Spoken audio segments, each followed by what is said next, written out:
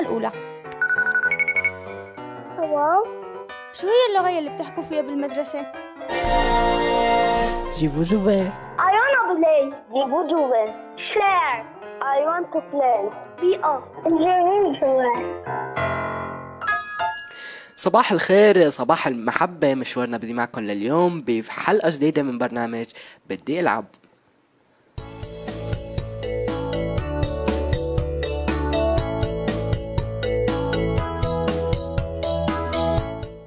يا صباح الخيرات والسعادة الفرح والنشاط والحيوية. ساعتين من الوقت أكيد رح نترافق فيها معكم رح كون معكم أنا من وراء المايك عليا ورح يكون معي أكيد مثل العادة بالتقديم والإعداد أنا محمود.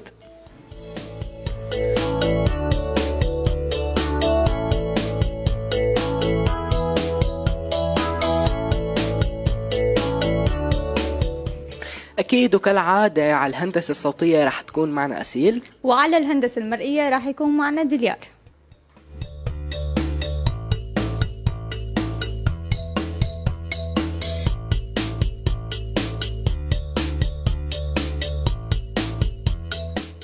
ما تنسوا أكيد بعد ما خصصنا فقرة كاملة لاتصالاتكم ومشاركاتكم تتصلوا فينا على الرقم واتساب آه، 00900 خمسة خمسة خمسة صفر صفر خمسة اتنين تمانية تمانية تمانية أو فيكم تتصلوا على الرقم صفر تمانية خمسة صفر أربعة سبعة وسبعين سبعة وسبعين ستة خمسة. والسكايب أكيد روزانا دوت جي زد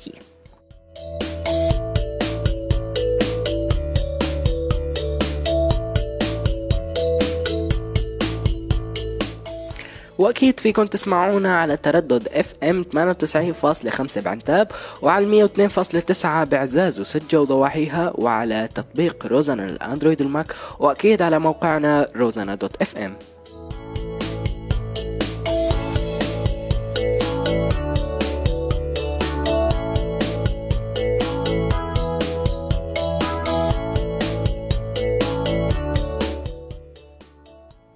فقرة أول فقرة رح تكون معنا اليوم هي شعر.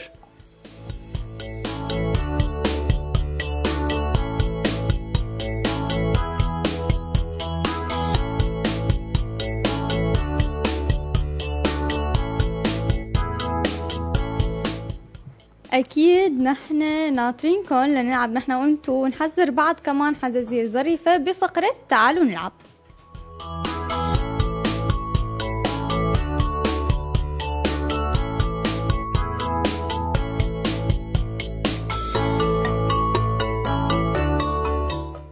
أكيد البيئة هي شيء كتير مهم بالحياة مشان هيك ثالث فقرة معنا اليوم هي بيئة.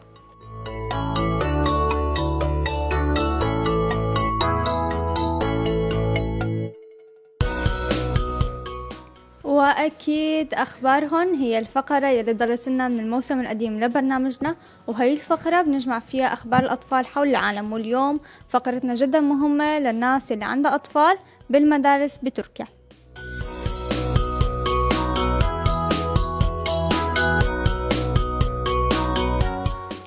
أما اليوم بفقرة جيمنج رح نحكي عن لعبة هي موسيقى وكمان لعبة.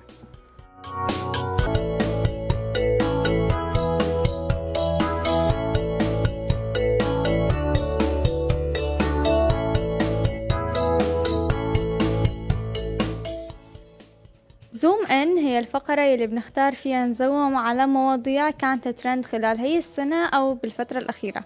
لهيك زوم إن اليوم رح تكون عن التجميل.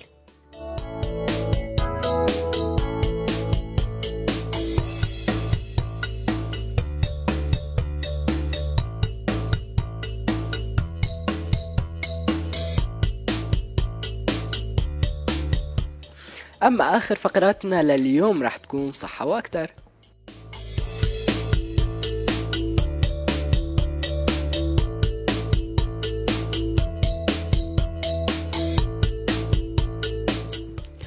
أما هلا فخلينا نروح على فقرة share. محمود share الحلقة. إيش يعني share؟ شاركوا على فيسبوك.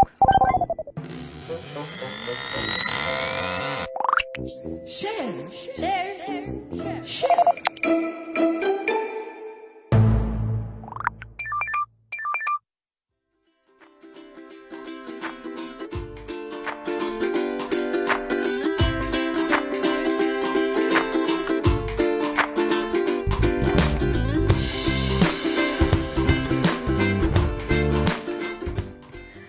أكيد فقرة شير هي فقرة بنستضيف فيها طلاب سوريين عايشين خارج سوريا لحتى يخبرونا عن تجربتهم بالدراسة وكمان عن تجاربهم بالمواهب والشغلات اللي هن بيبدعوا فيها.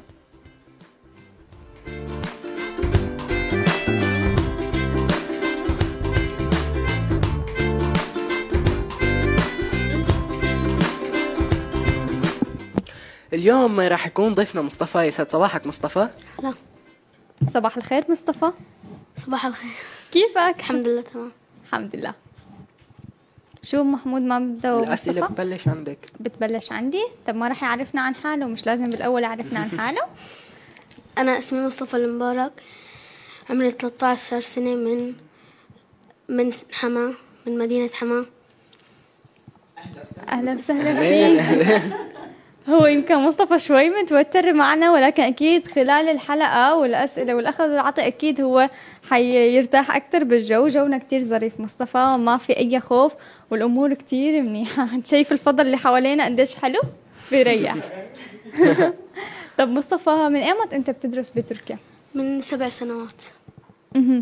يعني أنت ما درست ابدا بسوريا؟ لا أبدا ابدا. وكل دراستك كانت بالمدارس آه، اللي هون موجودة. طيب درست شي هون بمدارس سورية بتركيا؟ أكيد إيه درست. طب أي منهاج كان أسهل بالنسبة لك؟ آه، منهاج العربي. ليه كان لأنه أسهل؟ التواصل فيه آه، جيد و لغتك يعني بالأخير والتواصل جيد يعني متفق مع الأساتذة والمعلمين.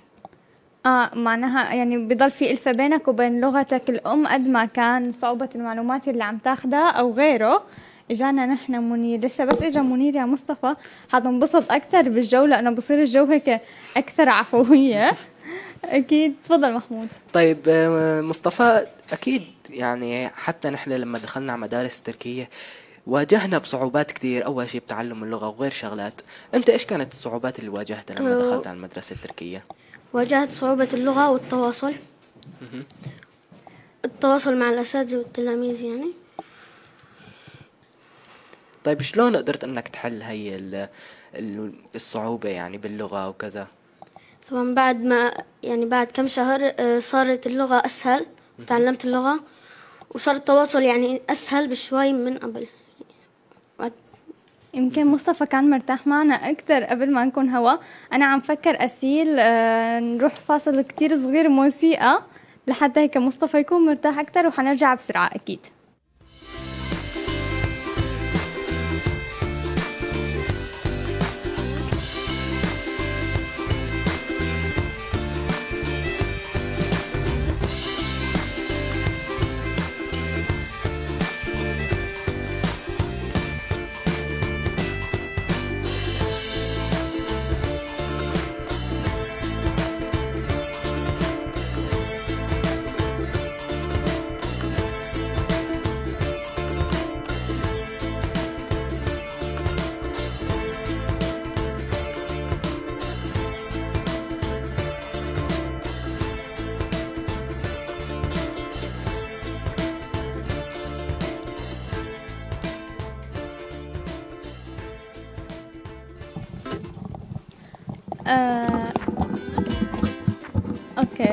ال- أكيد بدي مصطفى أول شيء آه، أسألك كثير مهم بعد الفاصل إنه كيف كان تعامل الطلاب الأتراك معك؟ يعني أنا مثلا كان في ناس معي بالصف آه، مناح وكان في ناس عاديين يعني ما كانوا انه مثلا اوفر وهيك. يمكن أنا كنت محظوظه انحطيت بصف آه، منيح. في ناس كانت عم تساعدني بالبداية. أنت كيف كان الوضع عندك؟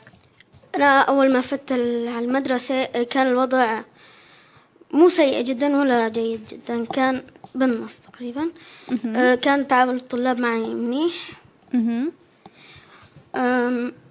لما تعلمت لغة كونت صداقات و ويعني صرت الت- التواصل معهم صار سهل. طب بتروح مثلا لعند بيت رفيقك التركي أو هو بيجي لعندك أو بتلعبوا؟ بروح لعنده وبجي لعنده. وبنلعب مع بعض يعني كمان. حلو. في حدا من الطلاب ساعدك بالتعلم أو إذا كان في شيء لهلأ مثلا ما عم تقدر تفهمه بالرياضيات أو غيره بيساعدك أو إذا أنت بتساعدهم؟ أكيد بساعدهم هن بيساعدوني.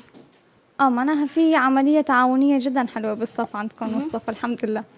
طيب بعد ما تعلمت هيك اللغة التركية وصرت أتقنتها بشكل كويس صرت تساعد شي إخواتك الصغار؟ أكيد بساعدهم بحل وظائفهم وبترجم لهم الأسئلة والكلمات اللي ما بفهمون طيب هلأ شلون إخواتك الصغار تعلموا التركي ولا؟ أي تعلموا التركي. الحمد لله. طب مصطفى أنا كتير بهتم بالأدب ومن لغة لغة, لغة الأدب بيختلف أكيد. فأنت شو قرأت؟ روايات أو قصص قصيرة أو غيره بالتركي؟ أنا في عندي كتير قصص قريون. مثلا في وحدة أه، كتاب شعر يعني. اسمه يلا السنفارس يعني أنت الوحيد بهذا العالم. أه، كتاب شعر طبعا. كتاب شعر كتير مهتم بالشعر؟ أي طب بكتب كمان شعر. تكتب شعر يا سلام. معناها بس حننمي هي الموهبة أكتر. آه، مصطفى أكيد حنستضيفك بحلقة خاصة بس عن الشعر. بس خبرني بتقرأ قبل مثلا شي عربي مع التركي؟ أي أكيد بقرأ عربي. أه، كليلة ودمنة وهيك. امم شو حلو. هدول القصص هيك الأساطير الظريفة. طب حابة أسألك كمان أو أنا ما رح أسألك. حيسألك محمود بعدين أنا حأسألك. طيب شو إيش عجبك ال- الشعر يعني القصص اللي بالتركي ولا القصص اللي بالعربي أكتر؟ اللي بالعربي. ليش كانوا أحلى اللي بالعربي؟ أم، لغتك وه- يعني بتحسها مفهوم عليها أكثر من التركي. تفهم أكتر من اللغة التركية. طيب مصطفى أنت قلت إنه أنت كمان بتحب الشعر فبتحب تكتبه بالتركي أو بالعربي؟ أه، بكتب بالتركي وبالعربي ما عندي مشكلة. آه حلو. كتير عن جد.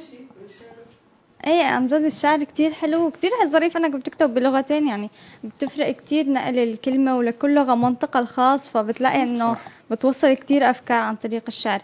حابب لبعدين مثلا إنك تدخل بمجال الشعر تصير شاعر تعمل ندوات؟ ما بعرف والله. أه، مو متأكدة كتير. طيب أنا كنت حابة أسألك كمان سؤال.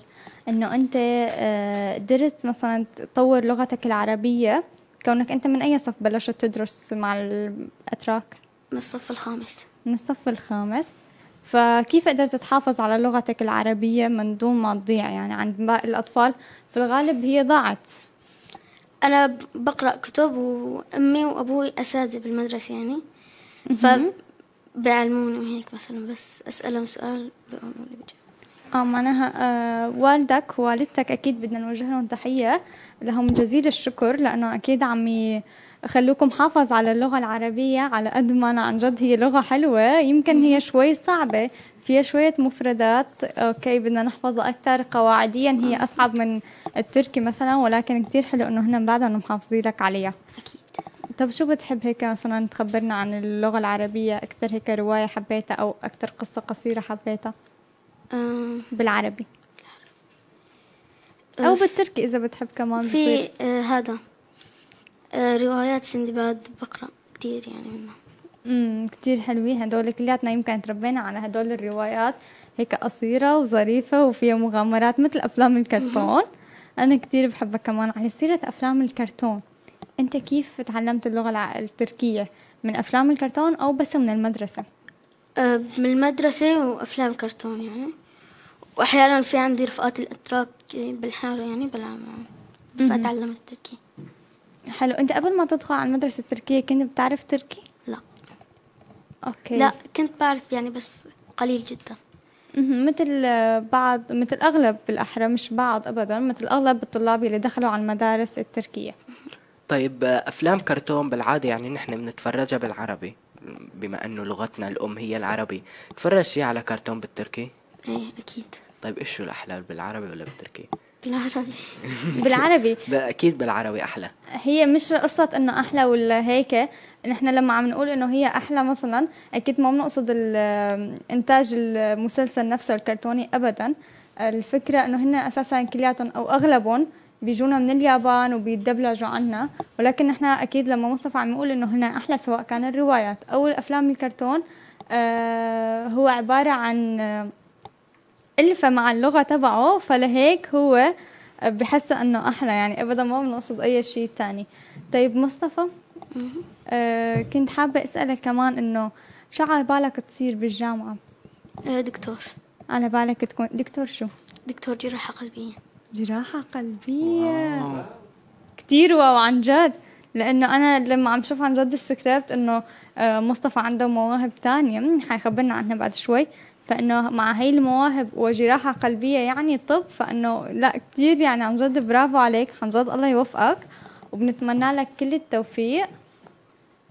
وبظن يمكن عنا إعلان ما في إعلان اسيل okay كونه ما في إعلان فحناخذ نحن إعلان هيك إجباري من عند اسيل موسيقى وحنرجع لحتى نكفي بمحور آخر.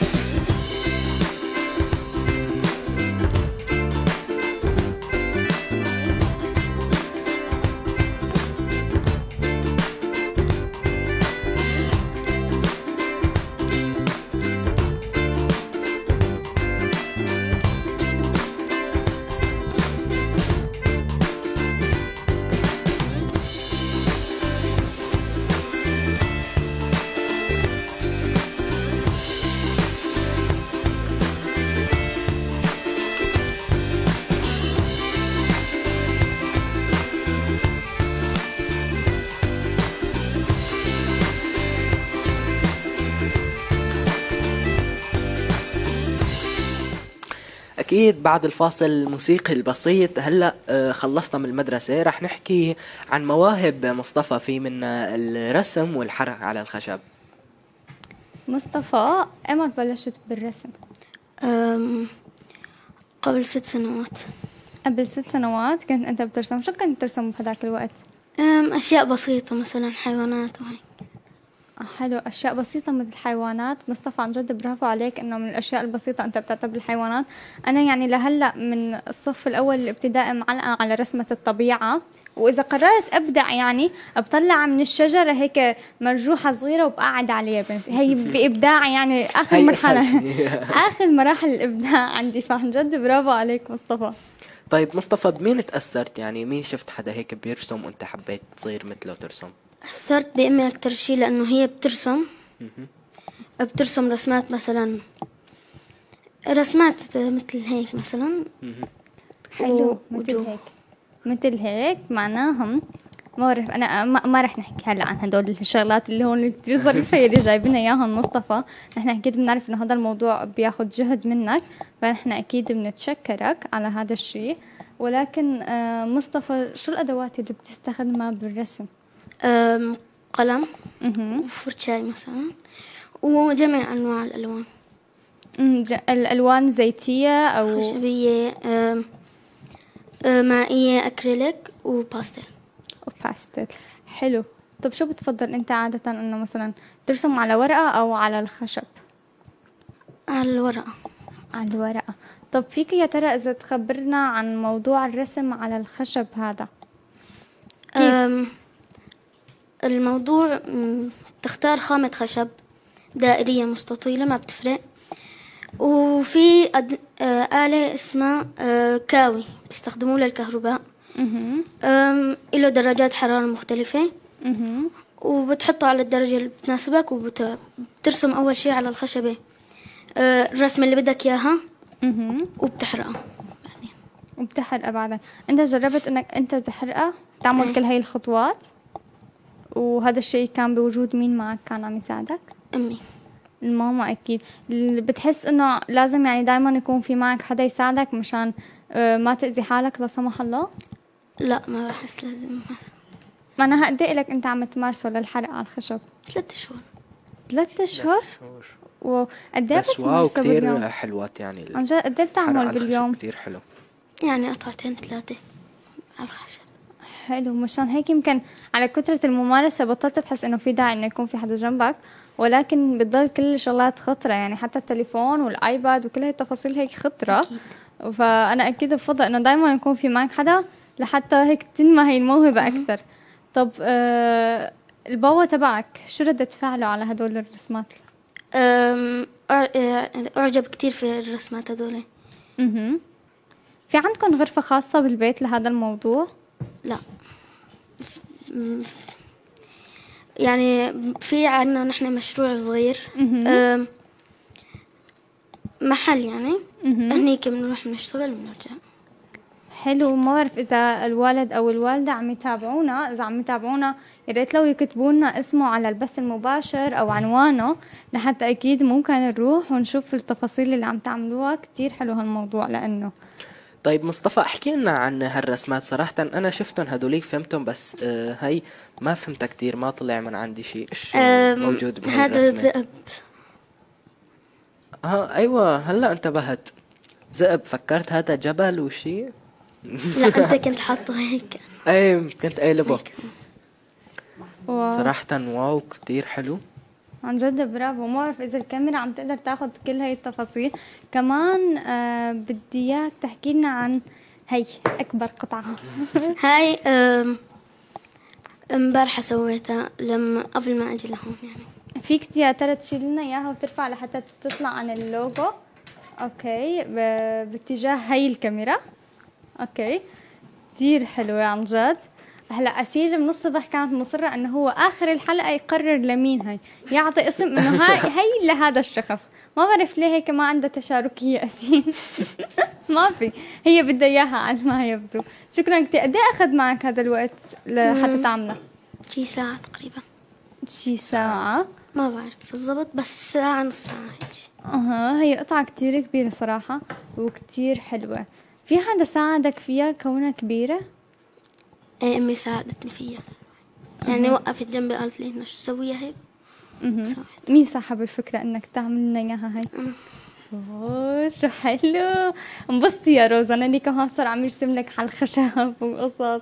كتير عن جد الحكي عن الخشب. وأنا كتير بحبه. ما بعرف أنا كتير يعني بشوف من هدول الفيديوهات اللي بيقعدوا آه، على الانستغرام ويوتيوب كتير بيقعدوا بينحتوا على الخشب. كتير هي التفاصيل منيحة. وبتحس حالك إنه أنت ممكن لبعدين عن جد تشتغل فيها. كفن؟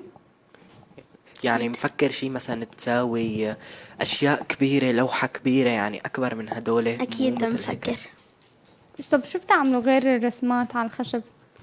أه بنرسم على الورق العادي مثلا. أها وجوههم هيك. كتير حلو هالموضوع.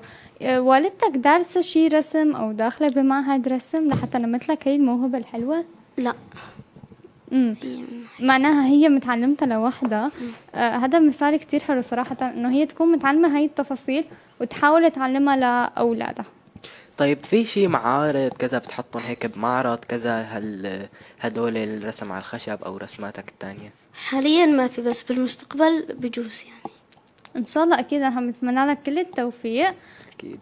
وأكيد بنتمنى آه، إذا صار معرض أو غيره تعملنا دعوة لروزنا ونروح نشوف كل هاي التفاصيل ونصورها. ما بعرف إذا الكاميرا كتير عم تلقط منيح ولكن عن جد الشغل يلي مشتغله كتير حلو. وبرافو عليك. شكرا كتير لك مصطفى. bye bye.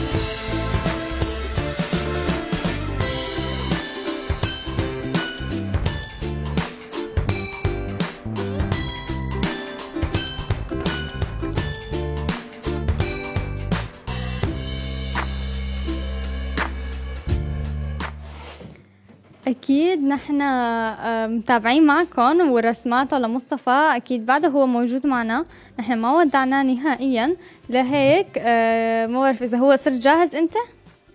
صرت جاهز؟ أوكي يمكن كمان شوي ناخد من أسير فاصل كمان لحتى تكون أنت جاهز على الآخر ونحكي عن الرسمات اللي أنت راسمهم على الورق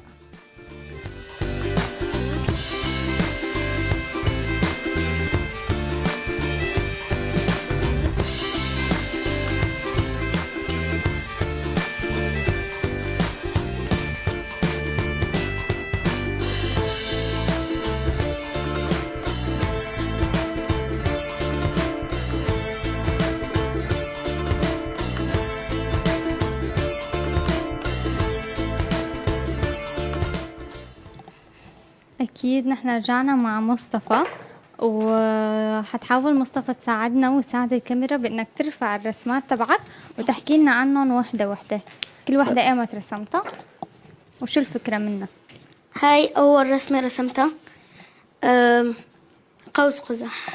يعني هي أتوقع هيك كلها كلياتنا هيك نك- نرسم رسمات هيك بسيطة صغيرة لوحات كذا. قوس هذا قزح يمكن بيقولوا له يمكن بيقولوا له هذا الفن التجريدي أو هيك شيء يمكن اللي هو أتوقع. فيه كتير تفاصيل. آه وألوان هيك محطوطة سوا بلوحة واحدة. كتير حلوة. برافو عليك. شوفي كمان رسمات. لحتى تفرجينا إياهم. آه هو أكيد جايب لنا مجموعة كاملة من الرسمات اللي هو راسمه. أوكي. آه فيها هي ايمت رسمتها هاي ب 2020 هاي ب 2020 أتوقع هذا السنافر وهذا قطه ل لا إيش كان اسمه هذاك الشرير؟ شرشبيل. شرشبيل. إيه هذا هذا اسمه قطه هرهور. لشرشبيل هرهور أيوه. وهذا السنفور عم بيتسلق على الشجرة. مم، شو حلوة هي مستوحاة كتير عن حلوة. جد. شوفي كمان لوحات تانية. في هاي. بس هاي ما آه. هلا هي آه. أتوقع السلحفاة هي إيه الطبوعة والشمس. wow كتير حلوة. بظن هاي من قصة كمان من أفلام كرتون أو غيره صحيح أنا متابعة أفلام كرتون. okay في كمان رسمات بالأسود والأبيض. هذا قرش عم بيلحق سمكة أتوقع. ما؟ أيوه. كتير wow القرش كتير حلو. عن جد. أها هاي عشان الهالوين يمكن. هذا عنكبوت. نازل من من بيته وفي مجوهرة وجمجمة. جدا مناسبة هي الرسمة. واو، كتير حلوة. لأنه الهالوين على الأبواب فعلا. فما بعرف شو فيك كمان حابب أنت تفرجينا رسمات تانية. على مهلك أكيد. نحن معنا كل الوقت لحتى تفرجينا كل الرسمات اللي أنت حابب تفرجينا إياها. أوكي. في رسمات أكيد هو راسمهم كمان على الورق العادي. sketchات هذول مثلا بس أكون فاضي بالمدرسة. برسمهم. بيرسم أنت sketchات. بتساوي مثلي هيك لما بكون ملان بالصف بقعد برسم شغلات ما بعرف هيك بيطلع معي شغلات. أنا أوقات برسم عيون بالصف. ما بعرف ليه عيون بس أنا هيك بنبسط يعني. وبحس براحة نفسية. مين هذا الرسم هو شخص ولا هيك؟ يعني بس. آه أينشتاين. ها هاي أينشتاين. مكتوب إن إي أينشتاين. أحسن أينشتاين. شو حلو أينشتاين. في كمان رسمات ثانية. آه هي كمان مثل ما قال أكيد هي sketchات ولهيك وهي بدها وقت. إيد أتوقع إيد آه، طا- هالوين هم؟ زومبي هذا ها هذا زومبي. كمان للهالوين. إيد زومبي طالعة من الأرض طيب أنا حابة أسألك وأنت عم تفرجينا الرسمات تبعاتك وتدورينا بينهم إنه إذا بتفكر إنك تعمل مثلا أكاونت على فيسبوك أو إنستغرام وتنشر فيه رسماتك وتنشر فيه فيديوهات لبعدين أو لا عم بفكر إيه. عم تفكر بهذا الموضوع؟ طب شو ردة فعل أهلك على هذا الشيء؟ هن اللي أعطونا الفكرة وموافقين يعني. هن عطوك الفكرة وموافقين؟ أكيد هن أنا متأكدة مية بالمية إنه هن موافقين إنه يعطوك آه، يعملوا لك أكاونت خاص بس للرسمات وهيك لأنه أكيد هن كتير مقدرين موهبتك وعن جد حابينها إنه تكبر. مثل ما أنا حاببتها إنه تكبر وبنفس الوقت يعني هن أكيد حيكونوا مساندين لإلك لأنه أكيد فيسبوك أو إنستغرام ممكن يكون خطر علينا بدل ما يكون مفيد لنا. أكيد. أنا بتمنى لك كل التوفيق. في رسمات تانية حابب تفرجينا إياهم؟ أكيد. أوكي حنرجع نشوفها من السكتشات هي الرسمة كتير حلوة. جمجمة لابسة سماعة بتسمع واو. أغاني. كتير حلوة هي مكتوب الرسمة. تحت music موسيقى. واو. عن جد. هي الرسمة عن جد كتير. هيك في رسمات خاصة بالهالوين. من الصبح أنا وأسيل كنا عم نحكي بموضوع الهالوين وهيك.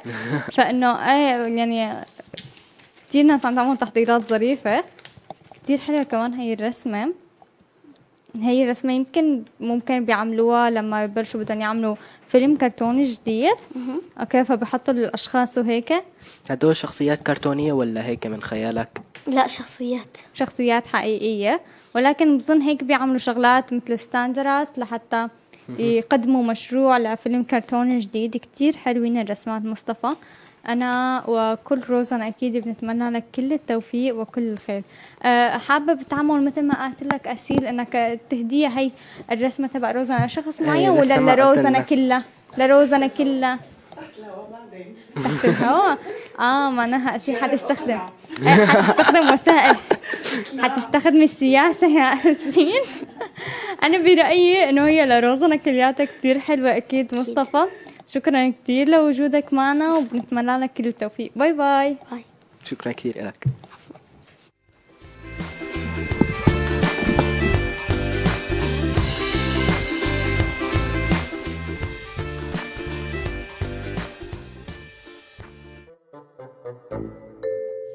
محمود share الحلقة. شو يعني شيء؟ شاركوا على فيسبوك share. share. share.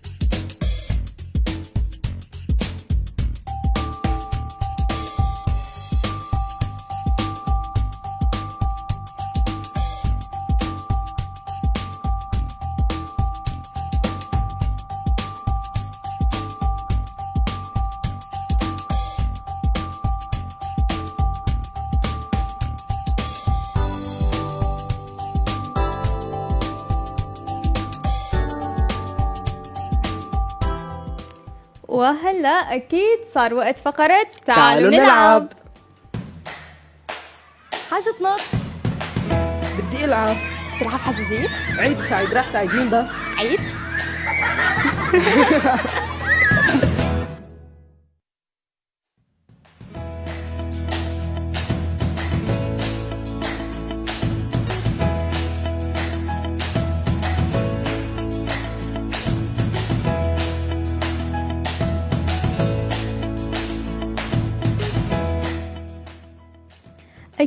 مثل العادة حبلش بالتعليقات. البث المباشر بعتذر إذا روحت شوية تعليقات. آه، أول تعليق كان معي أو ظاهر عندي على الشاشة هو مازن. كاتبنا يسعد صباحكم. أكيد يسعد صباحك يا مازن. شكرا كتير لإلك. وكمان بدي أقول صباح الخير لخالد مبارك. أما هلأ فحننتقل دغري لصلب الفقرة. هي الفقرة اللي هي تعالوا نلعب أنا وأنتو فيها. ومحمود أكيد وأسيل كمان أوقات بتفتح المايكات وبتشارك معنا. ونسأل أسئلة وحزيزير ظريفة. وأكيد إذا حابين أنتم تشاركوا معنا وتتصلوا فيكم تتصلوا من خلال واتساب على الرقم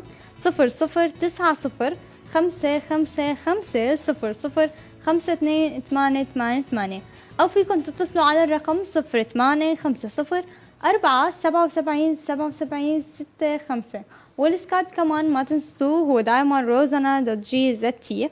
وكمان مو بس إذا بدكم آه، نحزركم وتحزرونا ونلعب سوا إذا عندكم موهبة حلوة سواء كان غناء رسم تمثيل أي موهبة ممكن أنتوا آه، تكونوا حابين إنكم تعرضوها للناس وتشوفها وتكونوا معنا ضيوف بحلقة آه، بفقرة share الأسبوع الجاي. أكيد فيكم كمان تتصلوا ونحكي نحن وياكم وندردش عن موهبتكم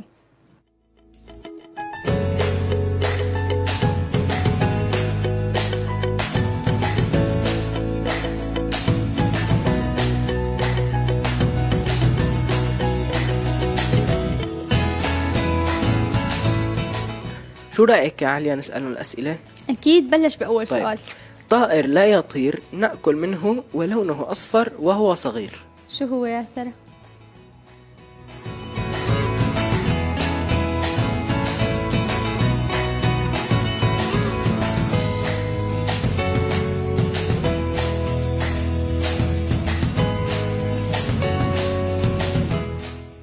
أكيد بانتظار أول اتصال معنا لليوم. بدي أقول صباح الخير لأحمد اللي كاتب لنا يسعد صباحكم.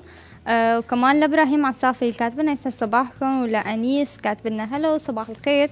يسعد صباحك. وكمان أكيد للصديق العزيز والدائم محمد الكردي كاتب لنا صباحي لك دروزنا ولكل الأصدقاء هو فوق مصبح علينا. كلياتنا شخص شخص وكمان كاتب المبدعة أسيل شو هذا يا أسيد. دايما دايما عم تاخد صباحات ظريفة. أكيد. شكرا كتير لك ويسعد صباحك. وكمان بدي صبح على عمار الوهب وعلى الست سميرة البهوي اللي تحية للأستاذ خالد والست هيا على تشجيعهم لمصطفى. أكيد تحية لإلهم. ومو بس على تشجيعهم على مصطفى بخصوص مواهبه وإنما كمان على قدرتهم على حفاظ اللغة العربية عند ابنهم. هذا الشيء جدا مهم وأنا جدا مبسوطة فيه.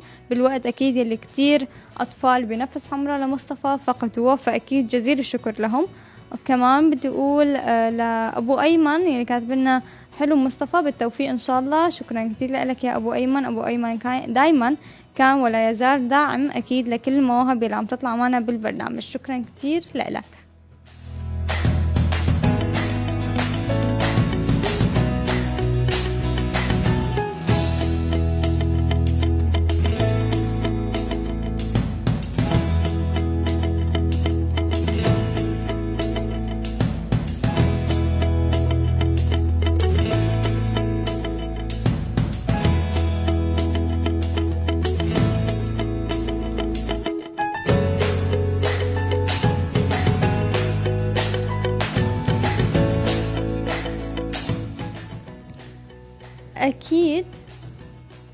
أكيد بدي أقول آه، ما بعرف أنا ما عم بسمع صوتي. أنا على الهواء أسيل. أنا على الهواء أكيد بدي أقول صباح الخير لأول اتصال معنا اليوم مثل العادة. عبودة كيفك؟ منيح أنت كيفك؟ أنا كتير منيحة بسمع صوتك. شو الأخبار عبودة؟ منيحة. الحمد لله. أوكي آه عبودة أنا حأتركك مع محمود. حتسبحوا على بعض. حيسألك السؤال وحتجاوب عليه. اتفقنا؟ اتفقنا. اتفقنا. يسعد صباحك عبودة. أهلين محمود. شلونك؟ منيح. طيب عبودة سمعت السؤال؟ آه، عيده طيب طائر لا يطير نأكل منه ولونه أصفر وهو صغير. بيكون هيك صغير كتير وكيوت وشغلة ملزلزة كتير يعني. أنا مصطلحاتي كتير حلوة لو سمحتوا. ما حدا يعلق على مصطلحاتي. شو معقول يكون عبودة؟ الفروج. الفروج آه اللي هو الدجاجة أو دجاجة الديك. أو غيره. صحيح مزبوط نحن بنقصد بأنه لونه أصفر وهو صغير أنه الصوص. بظن إيه، هيك اسمه. الصوص. الصوص صحيح. لهيك هي الدجاجة. بنأكل منها. طب آه على سيرة الدجاج عبودة أنت بتحب الدجاج أو بتحب اللحم أكتر؟ بحب الدجاج. آه وأنا كمان بحب الدجاج على فكرة. ما بحب كتير اللحم عبودة. آه بشو أكتر شي بتحبه؟ بشو أكتر الأطباق هيك بتحبه؟ بتحبه بالملوخية مثلا؟ بحب الفروج ببطاطا فروج ببطاطا اللي بنعملها بالفرن وبتطلع كتير طيبة وظريفة وفي معها توابل وهيك. عبودة خبرني عشان ما أجوعن أكتر. خبرني أكيد عن آه، أسبوعك. كيف كان؟ كويس. شو عملنا فيه؟ عم بدرس على على دروس مباشرة. أها عم تدرس على الدروس المباشرة عم تتابع كل الدروس عبودة؟ إيه عم بتابع كل الدروس. برافو شطور. شو أكتر درس هيك عم تحبه كتير؟ عم تفهم فيه على الأستاذ؟ أكتر درس بفهم عليه هو الماتيماتيك ماتماتيك هو رياضيات. أها والتركي حلو كتير. أه ما بعرف أنا يعني هو الشغلة اللي أنا ما بفهمها أبدا اللي هي الرياضيات. أبدا ما عم بفهمها عبودة. يعني عن جد أنت عامل إنجاز جدا عظيم إنك عم تفهمها بجان دارسلار أنا أبدا ما عم بفهم رياضيات بجان دارسلار والأستاذ ما كتير يعني حاسته عم يشرح بشكل مثل ما بيشرح عادة هو بالصف. لهيك أنا ما عدت فهمانة كتير رياضيات. ولكن كتير مبسوطة إنك أنت عم تفهم الرياضيات. صعبة الرياضيات عندكم عبودة؟ عند آه، آه، هو أنستنا كويس كويسين. بعملوا كويس. أها كتير حلو إنه الانسات مناح. لهيك أنت عم تفهم. هلأ أنا كمان الأستاذ يلي عندي إياه كتير منيح ولكن هو عم يشرح بطريقة مغايرة للطريقة اللي كان يشرح فيها بالصف. فلهيك أنا ما عدت كتير يعني أفهم عليه. عموما عبودة أنا كتير مبسوطة باتصالك معنا. حابب أنت تخبرنا شيء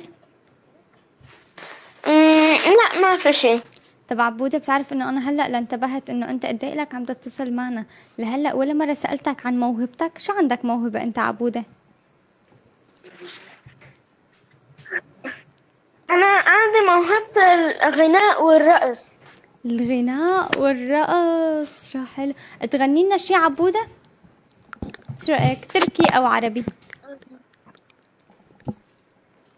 تركي. تركي. أوكي غني لنا شي تركي لنشوف. ما بعرف يا جماعة خلونا نعمل صمت تام لحتى بس عبودة. آه يغني لنا جاهزين يا جماعة؟ يلا آه، عبودة. بدي أغني عربي. أوكي غني عربي. كمان بصير عربي. تفضل عبودة نحن عم نسمعك كلياتنا. ماشي. سلمني علي. آه ولو انت بسلم علي. آه بوس لي عيني آه ولو انت بسلم عيني أنت ولو انت بسلم علي سلمني علي سلم سلمني علي. الله يا عبودة الصوت ما كتير عم يوصلنا بشكل جيد بسبب أكيد جودة الاتصال ولكن شو هالغناهات سلمني عليه يا عبودة مرة واحدة لفيروز عشان الصبح والهيك. برافو. شو حلو. عبودة؟ أيوة. أنا كتير مبسوطة بغنائك اليوم. كتير عن جد يعني كلياتنا انبسطنا بصوتك وبسماعه كتير حلو إنه أنا اليوم تذكرت إني أسألك عن موهبتك. شكرا كتير لك عبودة. وبتمنى لك أسبوع أحلى من العسل. أوكي؟ bye bye bye. bye.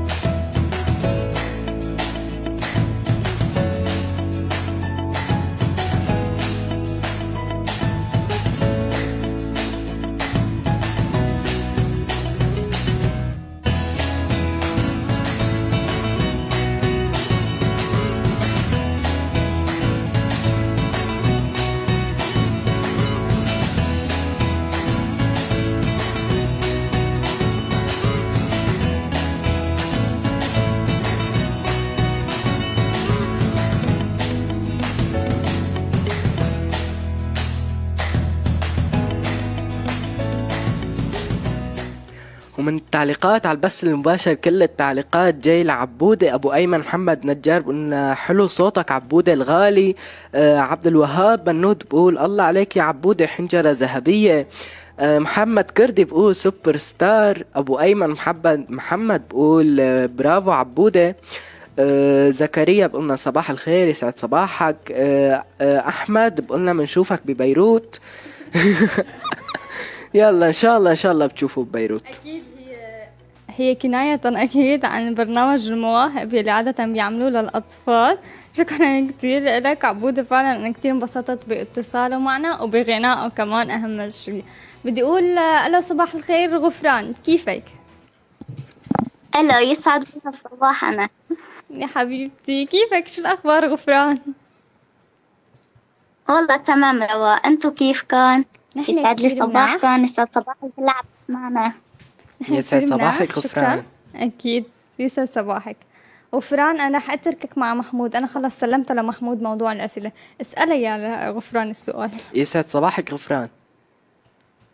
يسعد صباحك محمود. كيفكم كيف الأوضاع عندكم كلياتنا منيحين ما دام انت اتصلتي الكل منيح. شو هذا يا غفران؟ شو. هذا؟ عم يلقحوا لبعض. طيب إيش رأيك؟ أسألك السؤال غفران؟ جاهزة؟ جاهزة أنا. طيب. جاهزة. حيوان ضخم وكبير وأول حرفين من اسمه حرف حرفا جر. بهاي بدنا الفيل؟ شوي ل- الفيل؟ فوراً. الفيل. فورا الفيل. ما بدنا. لا صفنا ولا شيء محمود. الفيل صح يا غفران. شكرا كثير لك مزبوط هو الفيل. غفران؟ شكرا لكم. شكرا لك. خبريني عن. حيوانك المفضل. شو أكتر هيك حيوان أنت بتحبيه؟ بلش بالطيور؟ يعني كحيوان أنا بحب القطة وحيوان يعني بحب الفهد أنا. امم حلو. طب من الطيور شو بتحبي أكتر؟ هيك طائر بتحبيه؟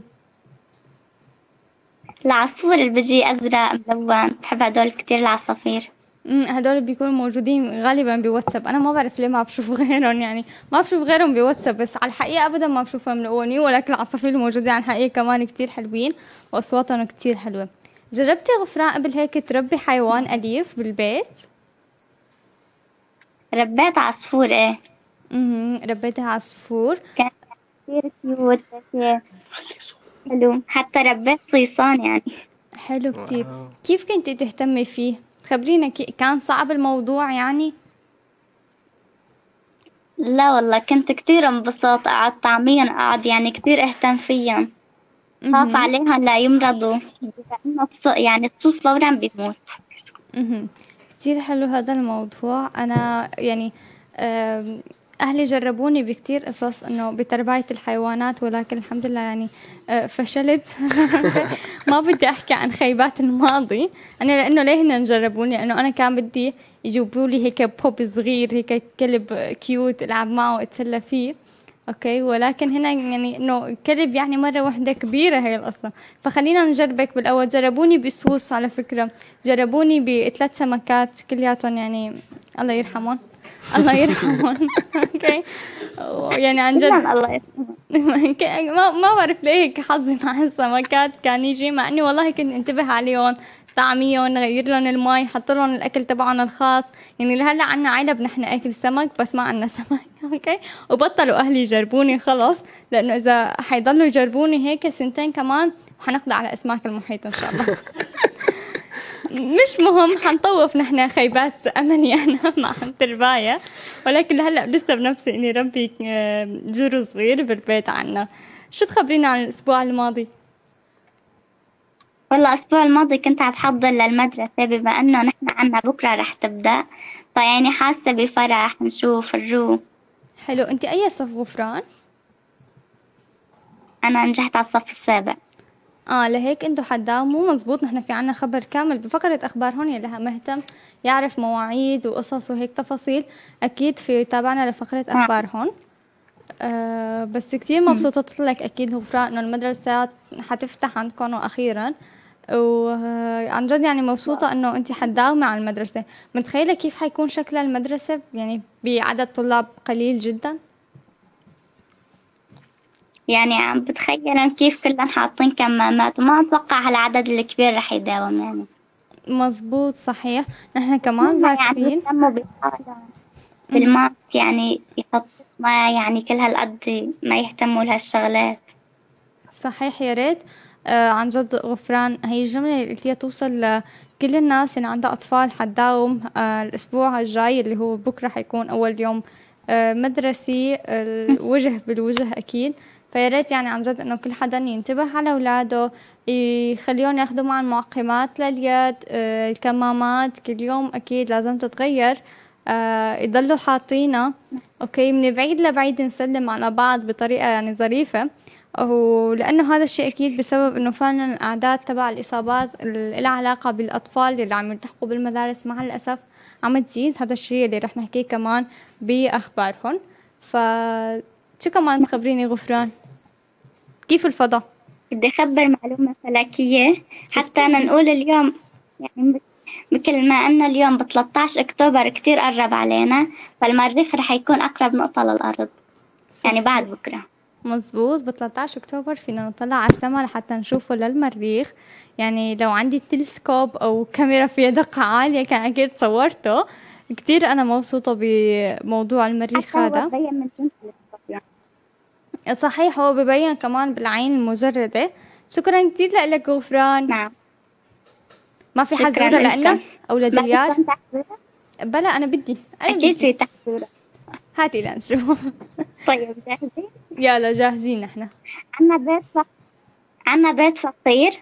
احترق وبيت زنقي احترق فإجت سيارة الأسعاف. انو بدها تطفي أول برأيكم أنتو؟ أنا برأيي البيت الفقير لأنه هو أول واحد احترق منطقيا. بالجملة انت قلتي البيت الفقير. يا عالية كي؟ ما حتى في البيت أنا. قلت لك سيارة أسعاف. آه إسعاف. أيوه. سيارة أسعاف ما بتطفي الحريق. هي بتسحب الجرحى. بتسحب الجرحى. ولا حدا انتبه ولا حدا انتبه إنه أنت قلتي سيارة اسعاف ديار يعني يجر أذلال الخيبة وراءه ويمشي بين الكاميرات. يعني ما ما بعرف ما حدا فينا انتبه إنه هي سيارة اسعاف مش أطفاء. مش حيطفي ولا بيت. الناس حينجوا أكيد.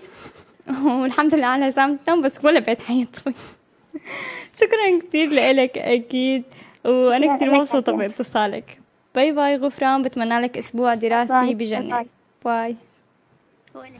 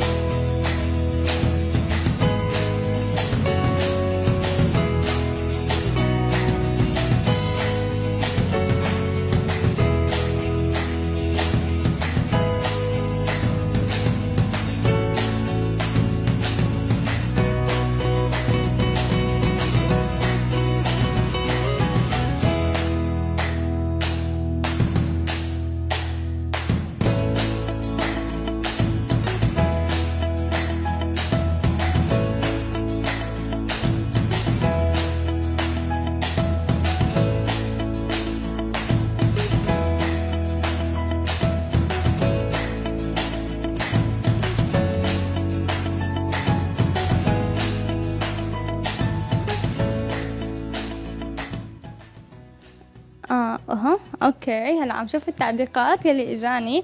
آه يعني اللي صدمني عن جد إنه هذا المحل نفسه اللي هو نحن أكيد كنا عم نحكي عن مصطفى ومحل آه والدته أو والده اللي بيبيعوا فيه هي التفاصيل وبيعملوا أكيد رسم على الورق وبيعملوا كمان رسم على الخشب مثل هيك وحفر وتلوين وكل هي التفاصيل.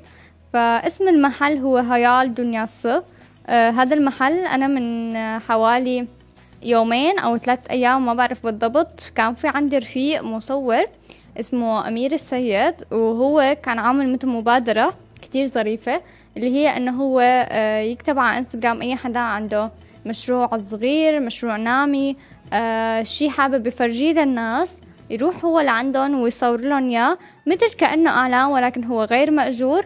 okay؟ وكتير كان تفصيل كتير حلو عن جد وأنا كتير حبيت الشيء اللي عمله. وغالبا كان أول محل صوروا على ال story تبعه هو هيال دنيا ص كتير حلو المحل عن جد. بنصحكم أكيد إنكم تروحوا لعنده وتشوفوا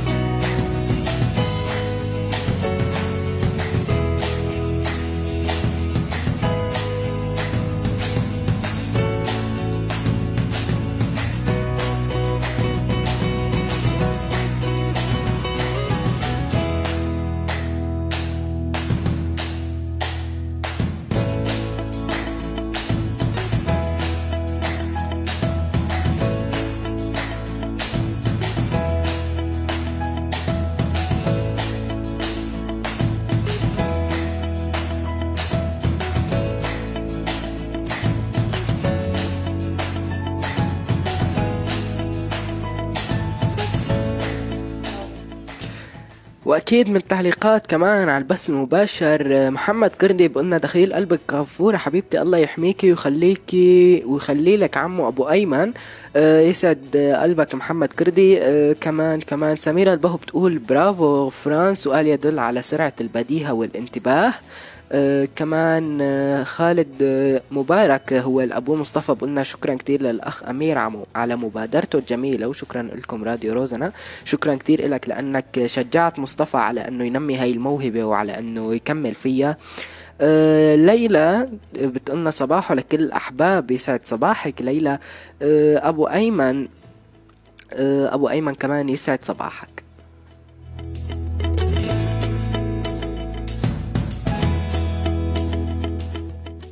كمان ليلى حاسة ما بعرف هيك يعني عم تنكشنا عم تقول إجازة سعيدة لكل المعطلين. أكيد نحن بنتمنى لكل المعطلين إجازة سعيدة. ونحن اليوم أساسا كتير مبسوطين. ما هيك أسيل؟ أنا كتير مبسوطة ولا على بالنا لا روح على بحر ولا أي شيء كتير مبسوطين بمصطفى. مزبوط بردنا عن جد. أنا لابسة شتوي أوكي ومبسوطين بموهبة مصطفى. فيعني إجازة سعيدة للمعطلين ودوام موفق للمداومين. وإن شاء الله يا رب يكون لسه نهاركم العملي أفضل بكتير من نهارنا. okay كمان بدي أقول عبد الله ستار كاتب هلو شكرا كتير لإلك. كمان آه ليلى عم تقول محمود اشتقنا لك. علوش حبيبة قلبي شكرا كتير لإلك يا ليلى. والله نحن هيك بس عم نهز الورد لنشمه مو قصدنا أي شيء تاني. okay. آه كمان عمو أبو أيمن عم يقول إنه أول امبارح بعتت إدارة المدرسة رسائل إنه الاثنين دوام بمنطقتنا صحيح. هي بالنهاية حتبعت رسائل يعني ما تعتمدوا بس على الأخبار ولكن حلو إنكم تكونوا بتعرفوا هاي التفاصيل إنه حنبلش دراسة وهي الشغلات كلياتها. كمان بدي أقول آه ل لست سميرة البهو كاتبة برافو غفران. سؤال يدل على سرعة البديهة والانتباه. أكيد كتير صحيح هالحكي. ونحن الحمد لله فشل ذريع الاستوديو كامل بسرعة البديهة. شكرا كتير لغفران وأكيد شكرا لك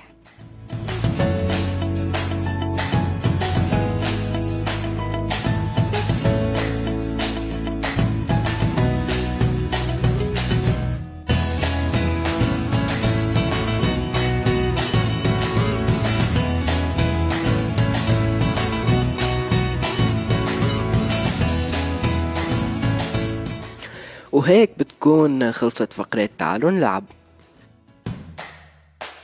حاجة نص بدي ألعب. تلعب حزازير عيد سعيد راح سعيد مين ده؟ عيد.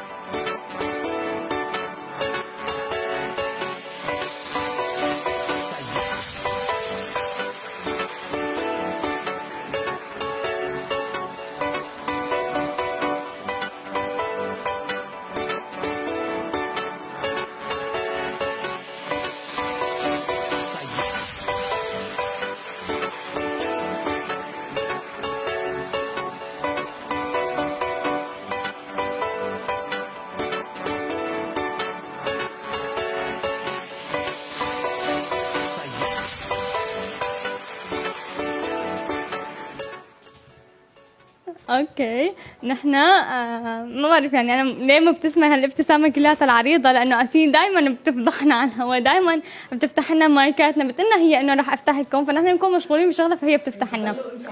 okay. okay. فما بعرف آه، يعني ما دليار عم يقول لي إيه؟ محمود عم يقول لي إيه؟ okay. هي عم تقول لا. آه، خلص تصطفلي. نحن صوتنا وانتهى التصويت اليوم يا جماعة. عرفنا من ليلى. أساسا كل الناس عرفت كمان من ليلى. شكرا كثير لك يا ليلى. يا ريت لو هيك تضلي عم تترصدي لنا هاي القصص. اليوم يا جماعة عيد ميلادها لأسيل أكيد بدنا كلياتنا نتمنى لها سنة سعيدة وسنة فيها خير وحب وأمل وتحققي كل اللي بدك اياه أكيد. وبعد ما يخلص البرنامج أكيد حتحطينا انت لحالك.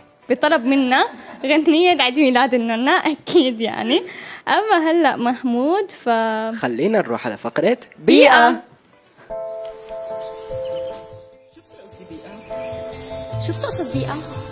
كيس نايلون هدر مي كهرباء بلا لون كب زبالة حرق بلاستيك.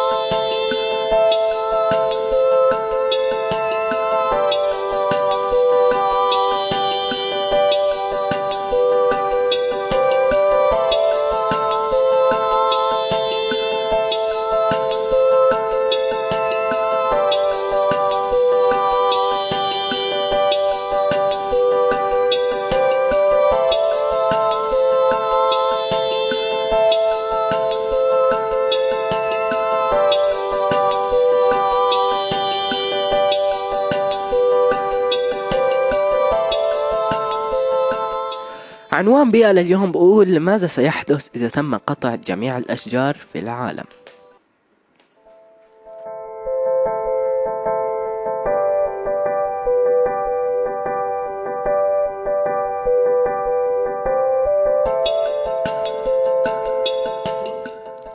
اليوم فقرة بيئة كتير حلوة لأنه فيها سؤال فلسفي.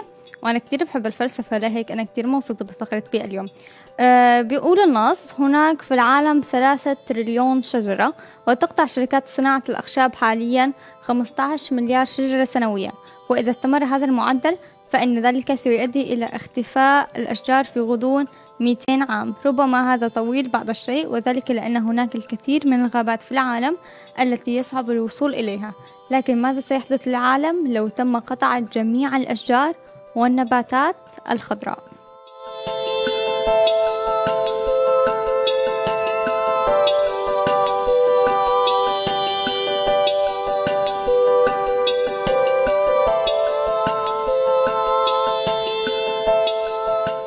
ماذا سيحدث إذا تم قطع جميع الأشجار في العالم؟ إذا ما تم إعطاء جميع البشر من العمر 15 حتى 65 عام على كوكب الأرض لقطع الأشجار فإنه سيتعين على كل شخص قطع 625 شجرة وخلال عام فقط سيكون قد تم إزالة جميع الأشجار في العالم. ولكن عملية جمع وتجهيز الأخشاب سيستغرق وقتا أطول بكثير. كما أن 99% من الأشجار سوف تقع فقط على أرضية الغابات وتتعفن وتطلق 35 مليار طن من ثاني أكسيد الكربون.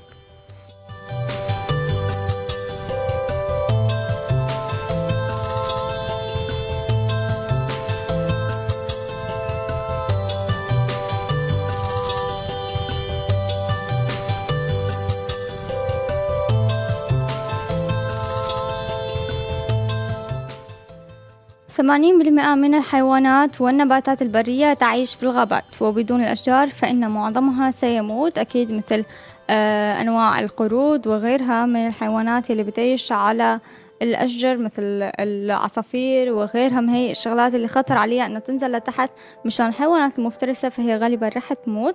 كما أن الأشجار هي تحافظ على الأرض مبتلة وباردة وتساعد على دفع دورة المياه إذ أنه بمقدور شجرة كبيرة أن تدفع 150 طن من المياه في الغلاف, في الغلاف الجوي كل عام وبالتالي تعود المياه إلى الأرض على شكل مطر.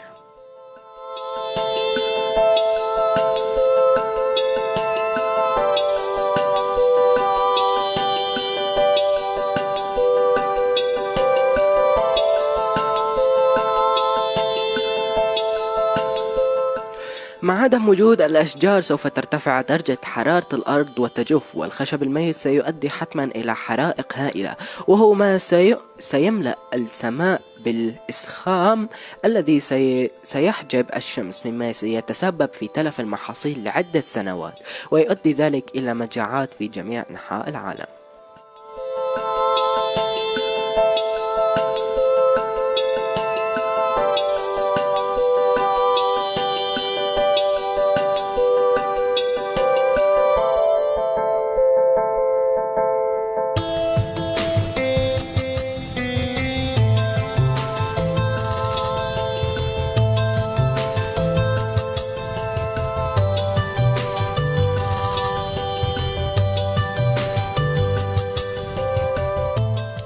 أما هيك بتكون خلصت فقرة بيئة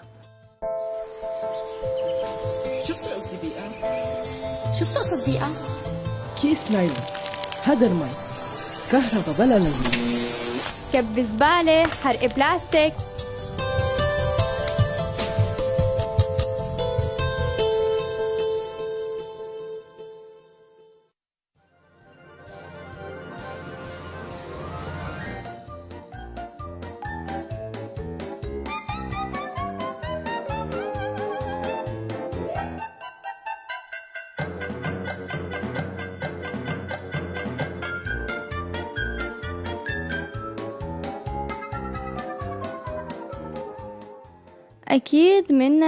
التعليقات اللي هلا ما أخذنا منهم هن تعليقات ال post في صورة كتير حلوة وظريفة. نزلت على آه، مجموعة روزنا كافيه. فيكم أكيد تشوفوه إذا ما انكم موجودين بالمجموعة فيكم أكيد تعملوا انضمام وتلقائيا. حتصيروا بالمجموعة. شكرا كتير أكيد لكل حدا موجود لكل حدا علق على ال post تبع اليوم. آه، أبو أيمن محمد النجار عم يقول منورين علياء ومحمود وضيفكم يسعد صباحكم وصباح لأسيل. ودليار وجميع المتابعين. شكرا كتير لك أكيد يا محمد النجار. كمان لمحمد الشهابي عم يقول صباح الود. يسعد صباحك أكيد يا محمد.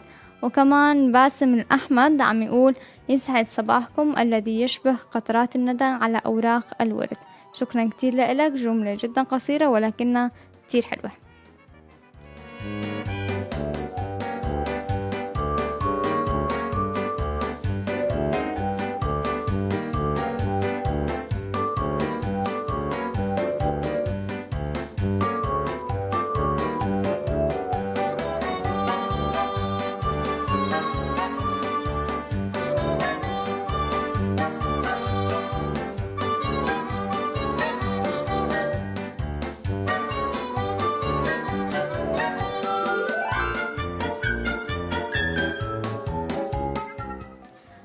أكيد هلأ صار وقت فقرة أخبار هون.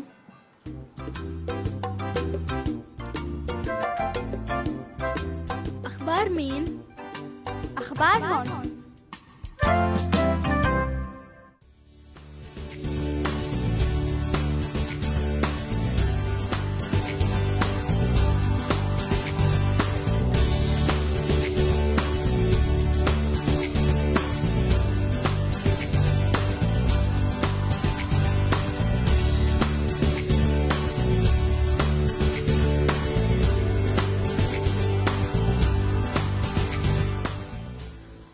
بخبرنا الأول لليوم قرارات جديدة بشأن التعليم في تركيا.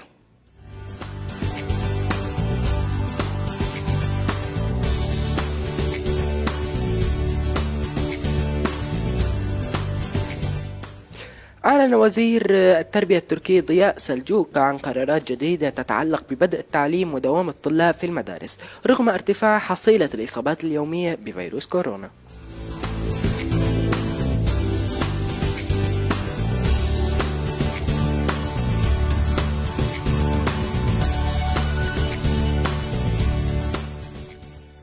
وأيضا قال سلجوق بحسب صحيفة حريات اليوم الأربعاء أن آه، إدارة المدارس ستقرر بالاجتماع مع المدرسين عن اليوم الذي سيبدأ فيه تنفيذ برنامج التكييف والذي هو التعلم وجها لوجه في المدارس.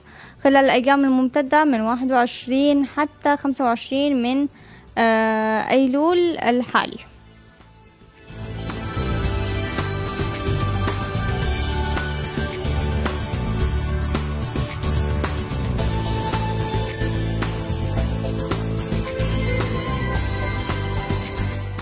وأوضح سلجوق أن برنامج التكيف سيكون على مجموعات وفي أيام مختلفة عبر اعتماد إجراء تقسيم الفصل إلى مجموعتين منفصلتين بشكل يراعي قواعد المسافة الاجتماعية.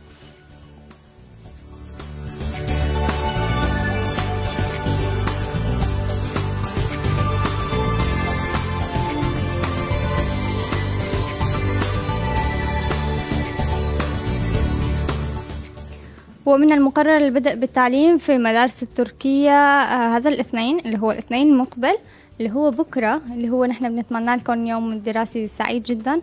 أوكي؟ ولا أكيد لطلبة رياضة الأطفال اللي هن الصف الأول الابتدائي وأكيد كمان آه، الشهادتين سواء كان الإعدادية أو الثانوية يلي هن الصف الثامن أو السابع بالأحرى والصف أكيد الثاني عشر.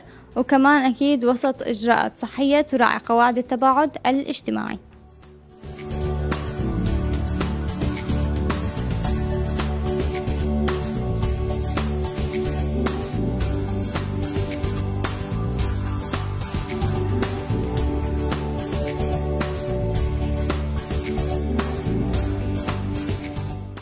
وفيما يتعلق بالحصص الدراسية أكد الوزير التركي أن الأسبوع الأول سيتضمن أنشطة تسهل عملية الاندماج مع التعليم عن بعد وفي حين تبدأ الدروس في الأسبوع الثاني بمعدل ست ساعات أسبوعيا للغة التركية إضافة إلى درسين لمادة الرياضيات ودرسين آخرين للعلوم الأحياء.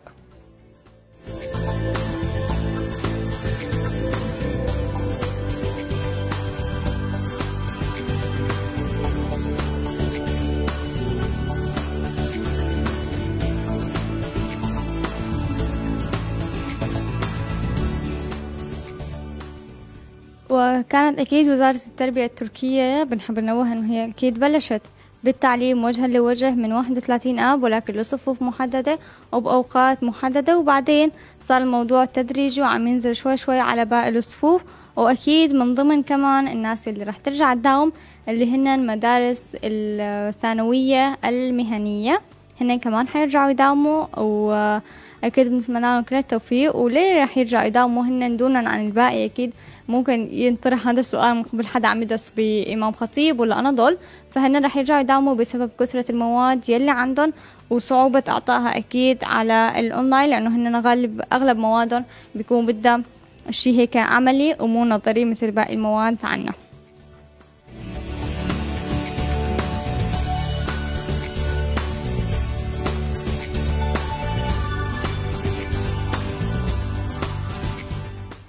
ويتزامن ذلك مع تضاعف معدلات تفشي جائحة فيروس كورونا في تركيا خلال شهر واحد بحسب ما كشفت وزارة الصحة التركية.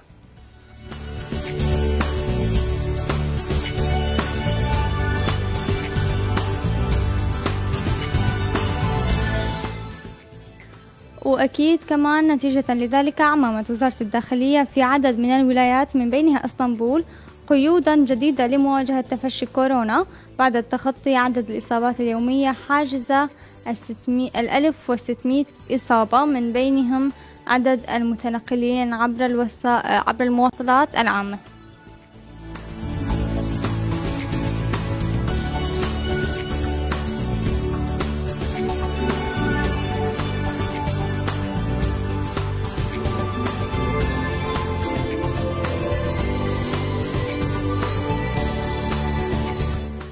وفي آخر إحصائية سجلت وزارة الصحة التركية أمس 1742 إصابة ليصل عدد الإصابات الكلي إلى 294620 إصابة.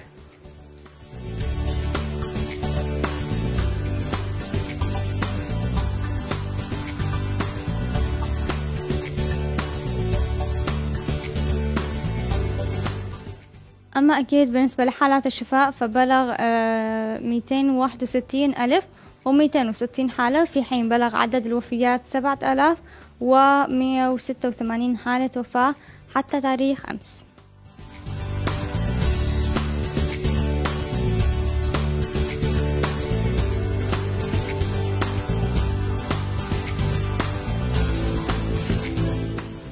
أما هيك تكون خلصت فقرة أخبار هون.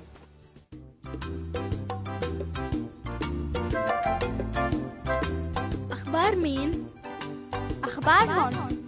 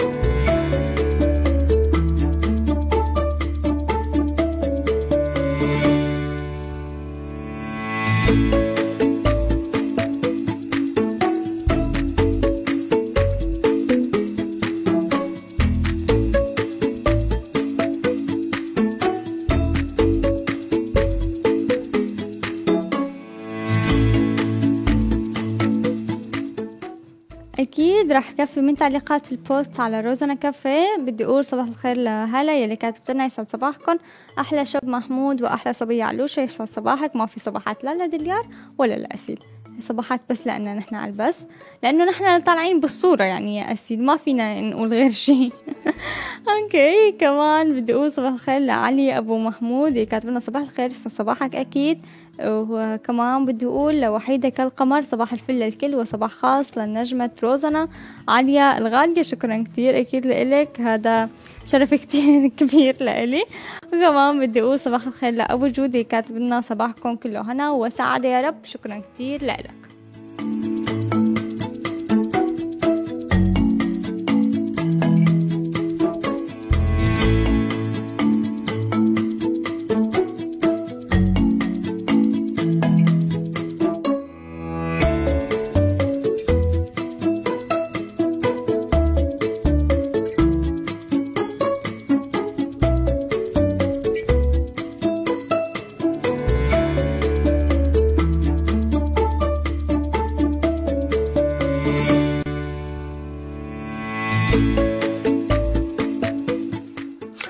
سعاد قلنا منورين على فكرة منورين بنورك يا سعاد. عبد الرحيم ناصر قلنا منورين شباب.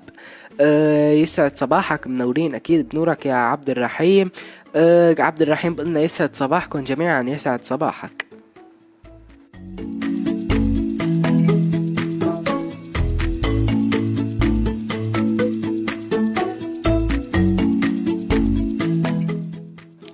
كمان بدي أقول لمحمد الكردي مني ومن اسيل حق لك صباح الخير هالمرة لأنه أكيد اسيل رح تقول لك هون صباح الخير. عم يقول هو صباح الورد والفل والياسمين للمبدعه اسيل وبدنا نهديها غنية بعيد ميلادها رح طير حمام. ما بعرف شو هي الغنية بالضبط ولكن حنحطها أكيد تحت آه، بعد ما نخلص برنامج. وهي هدية يا أسيل من محمد الكردي لإلك.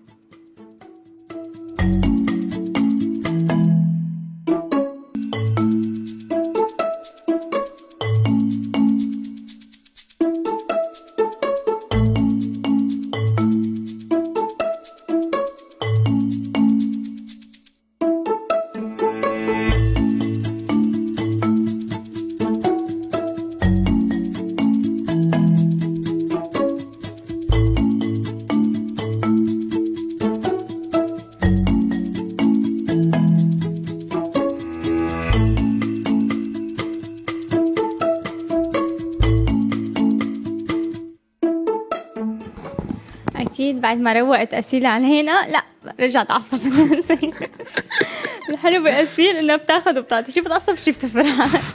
ليك رجعت عم تضحك بعد ما روقت أسيل وعصبت ورجعت روقت حنقول كلياتنا سوا لحتى نروح على فقرة جيمنج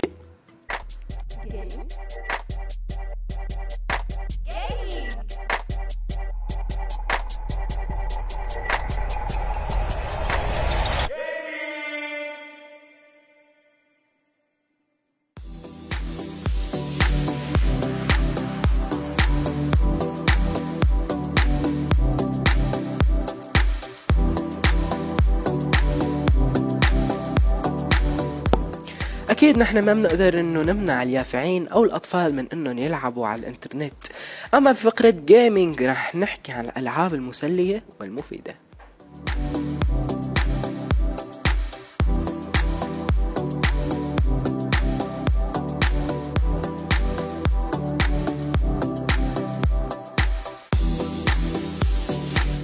اليوم رح نحكي عن لعبة اسمها Magic Tiles 3 اللعبة مقدمة من امانوتس بي تي اي ال تي دي تاريخ إصدار اللعبة 24 2 2017 اللعبة فيها أكثر من 100 مليون عملية تحميل.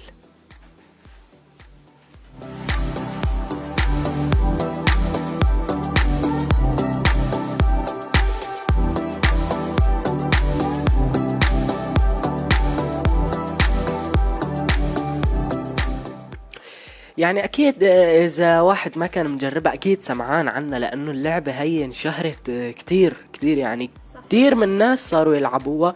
يعني حتى اللي ما بحبوا الألعاب صاروا يلعبوا هاي اللعبة. مزبوط أنا كمان لأنه آه تاريخ إصدار هذا الجزء منها يلي هو الجزء الثالث منها كان ب 24 2 2017 ولكن هي بالحقيقة أكيد موجودة من قبل هيك بكتير لأنه في لها ثلاث أجزاء مثل ما حكى محمود. وفعلا حتى الناس اللي ما بتحب تلعب مثلي عم بلعب فيه أنا أوقات. اللعبة هي لعبة موسيقية بس مو بس إنه يعني موسيقى فيها للي بحبوا يسمعوا موسيقى ويلعبوا بنفس الوقت هاي هي اللعبة مناسبة آه، اللعبة هي هيك بتشبه البيانو شغلات بيشبه البيانو لازم نحن نكبس عليهم وكل ما نكبس مثل النوتات رح تصير ورح تشتغل رح تصير مع الغنية يعني كل ما تكبس تصير كأنه مثل مع الغنية.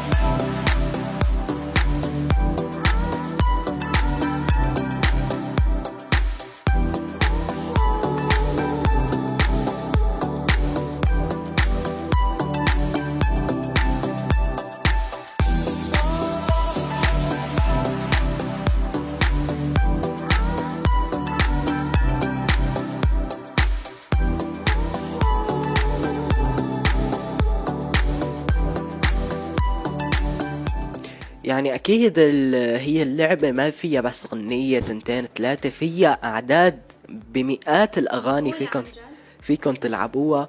وكل ما لعبت أكتر كل ما في شيء اسمه level كل تطلع عليه اللي تطلع هو level مستوى. واحد اثنين مستوى. وبتجمع XP أو نقاط خبرة ولحتى تطلع بالمستويات تصير آه، مستوى واحد واثنين. وكل ما كترت أكتر كل ما انفتحت لك غنية جديدة. صحيح. وحتى مو بس تنفتح غنية جديدة يعني إحنا مو بس حاطين أغاني وعزفهم وخلص هي هي لا أكيد كمان محمود الأغاني آه هي يعني مرتبة مثلا أول شي في عنا غنية عيد الميلاد okay؟ فإنه هي نوتة شوي أسهل أبسط. بعدين بتصعب النوتات أكتر بتصير النوتات في عزف أسرع. فيعني هي مو بس عبارة عن إنه خلص أنت عم تعزف أي نوتة وخلصت القصة ابدا مو هيك.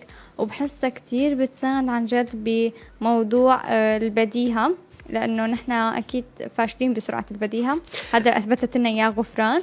أوكي؟ فلهيك يعني نحن بحاجة إنه نلعب هي اللعبة صراحة كتير. أتوقع أنك لعبتي الأجزاء القديمة من اللعبة لأنه الأجزاء القديمة هي كانت أول غنية هي غنية الميلاد ولكن بهذا الجزء آه، ما كان في آه، أول غنية ما كانت غنية عيد الميلاد كانت غنية تانية حتى أنا ما بعرفها يعني ممكن غنية طالعة جديدة آه، هلأ خلينا نشوف فيديو شلون فينا نلعبها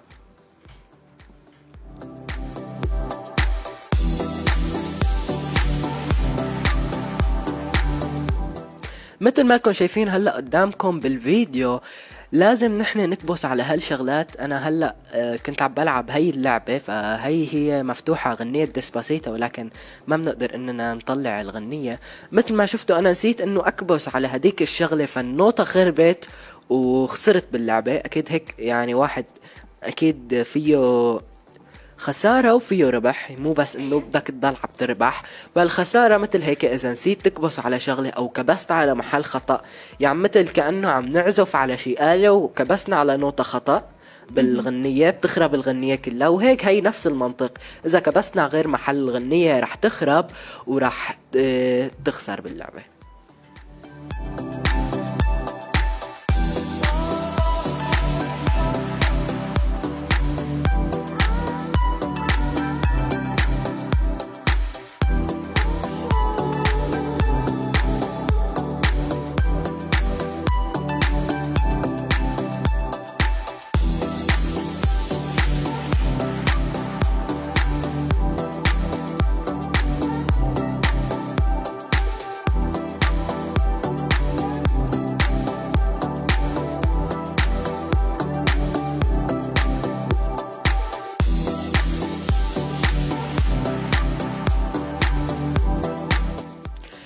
واكيد مثل ما لكم شايفين هلأ بهي الصورة يعني ما كل الاغاني مثل ما قلنا ما كل الاغاني هي المفتوحة.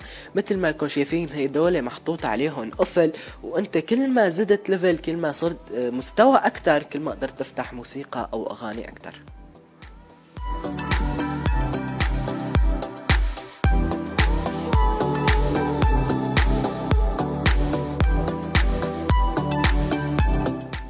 ما بعرف بس أكيد مثل ما قال محمود إنه آه بظن كل أنا هو قال أغلب بس أنا بظن الكل. okay ممكن الناس ما لها علاقة بالألعاب وهيك ما لعبتها ولكن أنا بظن انه أغلب الناس الموجودة معنا على البث المباشر هي لعبتها لهي اللعبة. فما بعرف إذا فيكم أنتم تخبرونا شو آه ايمت بتلعبوها أو ايمت كنتوا تلعبوها. أنا هي اللعبة مثل بالعادة يعني ما بلعب أنا الألعاب غير وأنا راجعة من المدرسة مثلا على البيت بالباص تبع المدرسة أو بالترام. ما بلعب غير بهذا الوقت لحتى أقطع الوقت okay؟ والقصة ما بدها كتير تركيز. والحلو فيها انه عن جد يعني بلعب أنا ورفيقتي مثلا أو هيك فهذا الشيء كتير تفصيل آه، حلو وكتير عن جد يعني مش إنه خلص انت عم تلعب لعبة وإلكترونية وعم تلعب لوحدك وبتنعزل عن العالم الخارجي بنساوي. مسابقات بين بعض آه، مين مين بيقدر يضل أكثر مين بجمع أكثر أيوة، نقاط أكثر مين جاب score أعلى إيه. فهي عن جد لعبة مسلية وإذا أنا عم بلعبها يعني فأنتوا عرفوا إنه هي يعني من أحسن الألعاب الموجودة لأنه أنا ما بلعب ألعاب ابدا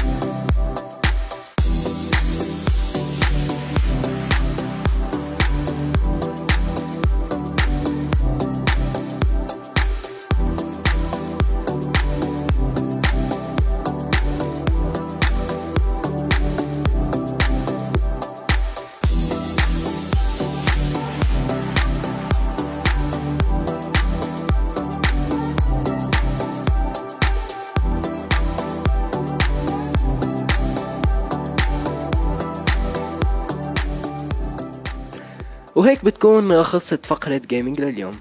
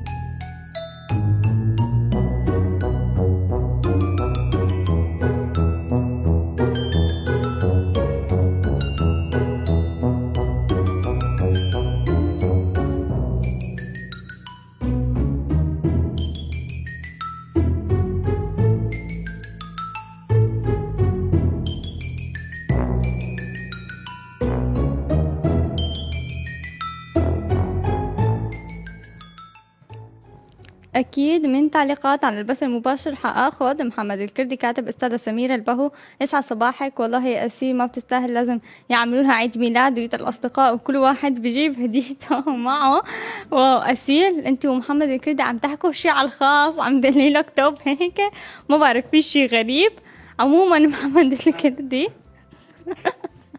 محمد الكردي أكيد هو من طول عمره مسوى آه، وشكرا كتير. لك أكيد. ويمكن لازم نعمل لها. هي ما كان بدها أساسا نحن نقول على البث إنه هي عيد ميلادها بس نحن يعني قلنا كونه هي مانا مانا موافقة. نحن قلنا نحن صوتنا يا جماعة. نحن ديمقراطيين هون. صوتنا ثلاثة وافقوا وواحد ما وافق خلص. معناتها هي. معناتها هي لأسيل الهدية ما دام. اليوم عيد ميلادها. هيك معقول معقول هيك كانت عم تقول له نقي شخص؟ هلأ. بنسأل مصطفى. برا. ممكن. هلأ بنتأكد من الموضوع. أكيد كمان أم أه بدي أقول كمان صباح الخير لكل حدا أكيد عم يشاركنا وكمان يمكن حروح هلأ على تعليقات البوست. بدي أقول لأبو نديم كيفك أبو نديم يسعد صباحك؟ ما عاد سمعنا صوتها لإلاف أكيد ولا صوت اخواتها أه عموما نحن كتير مبسوطين بتعليقك بانك أنت بعدك عم تسمعنا. كمان بدي أقول صباح الخير لإسماعيل اللي كاتب صباحا يا حلوين يسعد صباحك. ولأبو محمود كاتب صباح النور والسرور يسعد صباحك.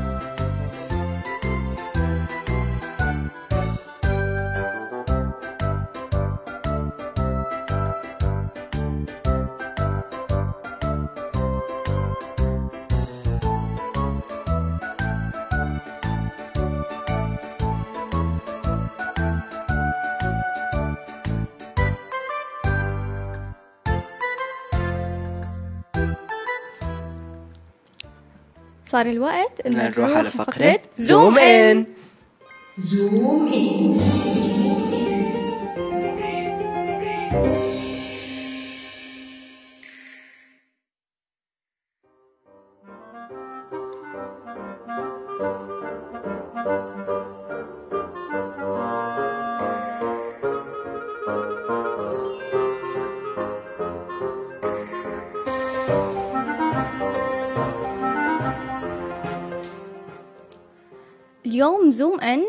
آه، بتبلش ب 2020 دائما بس نقول 2020 حنقول بعدها جملة كارثية ولكن اليوم لا ما في جمل كارثية.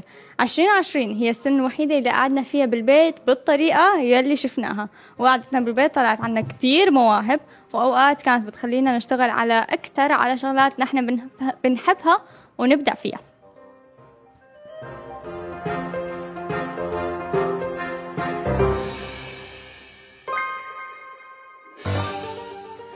أكيد هاي القعدة الطويلة تأثر فيها مجال التجميل بشكل جدا واضح وملحوظ والناس قاعدة بالبيت عم تشتغل من بيتها آه، الشغل يمكن قل عند بعض الناس فما عاد عندهم كتير شي يعملوه غير إنهم يتسلوا فالناس بلشت ترسم ولكن الناس عادة بترسم على اللوحات ولكن اليوم عنا بزوم إن الناس عم ترسم على وجهها.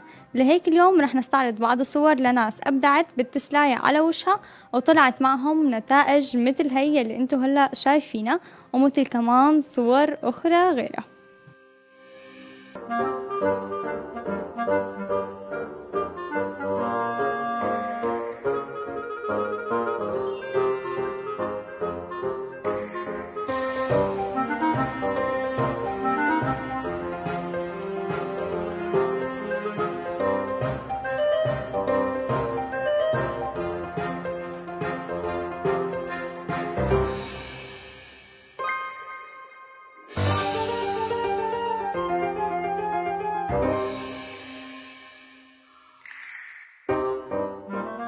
ولكن الموضوع بعدين بلش ياخد منحى آخر وصار حرفيا هو رسم.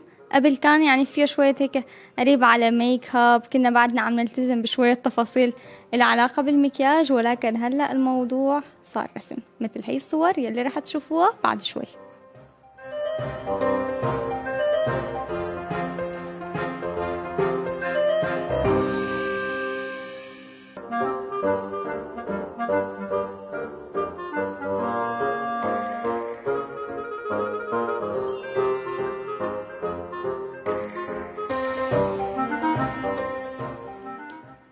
بعرف يعني شو رأيكم محمود؟ هو أكتر حدا عم يشوف الصور معي فما بعرف آه، شو رأيكم بالصور؟ يعني معقول عن جد في حدا آه، بياخد وقت طويل عن جد لحتى يعمل مثل هيك شي؟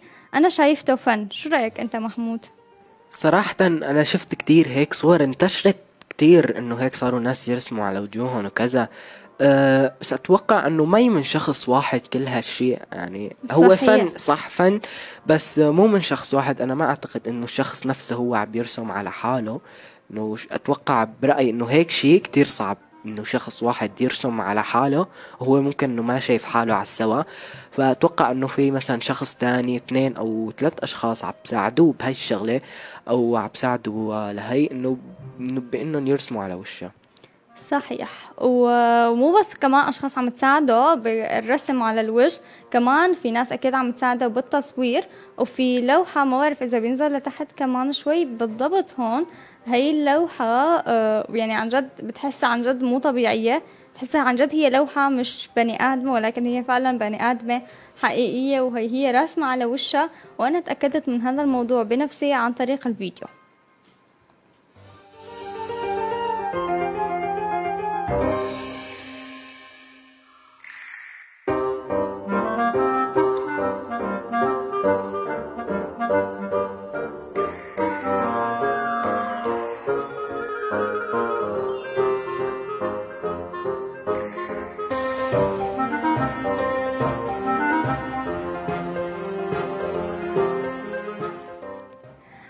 ما بعرف هي الفقرة كتير عم يعني بتعذبنا شوي بالشغل ولكن عن جد كتير حلوة. أه في ناس كمان اشتغلت على عيونها بس مثل هي الصور يلي هلأ أنتم عم تشوفوها قدامكم أه أكيد لأنه بالميك اب في كتير ناس بتعمل بس عين وحده مثلا بتحط عليها full make-up حتى ما تحط على كل وشها وبتصور هذا الشيء وبتنشره. فحتى بهذا الموضوع صاروا يرسموا كمان على عيون الصور رائعة وعن جد يعني بتحس الشخص اللي عم يرسمها مانو يعني فنان ميك اب بتحسه فنان رسم عادي لأنه كتير مظبط الموضوع أكتر حتى من فنانين الميك اب نفسهم وكتير حلوين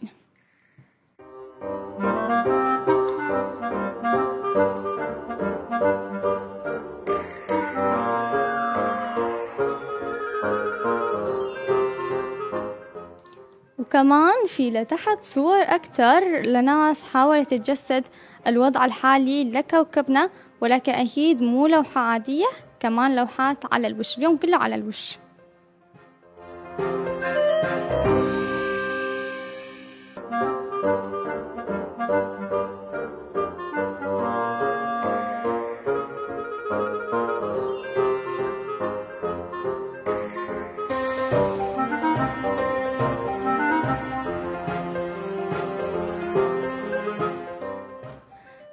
اللوحات يلي عم نشوفها. آخر وحدة كتير أنا لفتت لي انتباهي لأنه يعني عم تحاول تحكي آه، شي عن الطبيعة. آه، ما سيء ما فيه حرائق ما فيه انفجار لبراكين ما فيه شي تاني.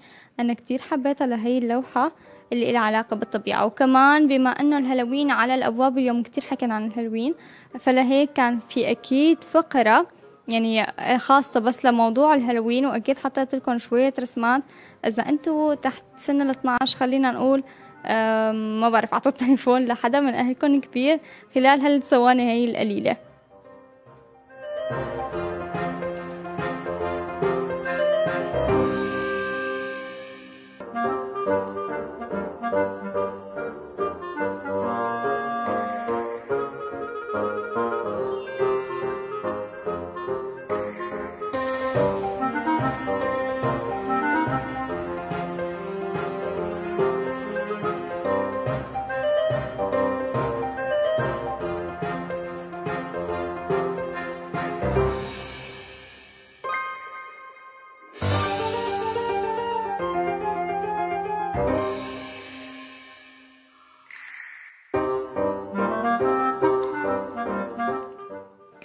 وأكيد بهدول الصور آه، كان في صور أقل رعبا من هدول وأكثر لطفا ولكنها كمان كانت للهالوين مثل الصور اللي رح نشوفها هلأ.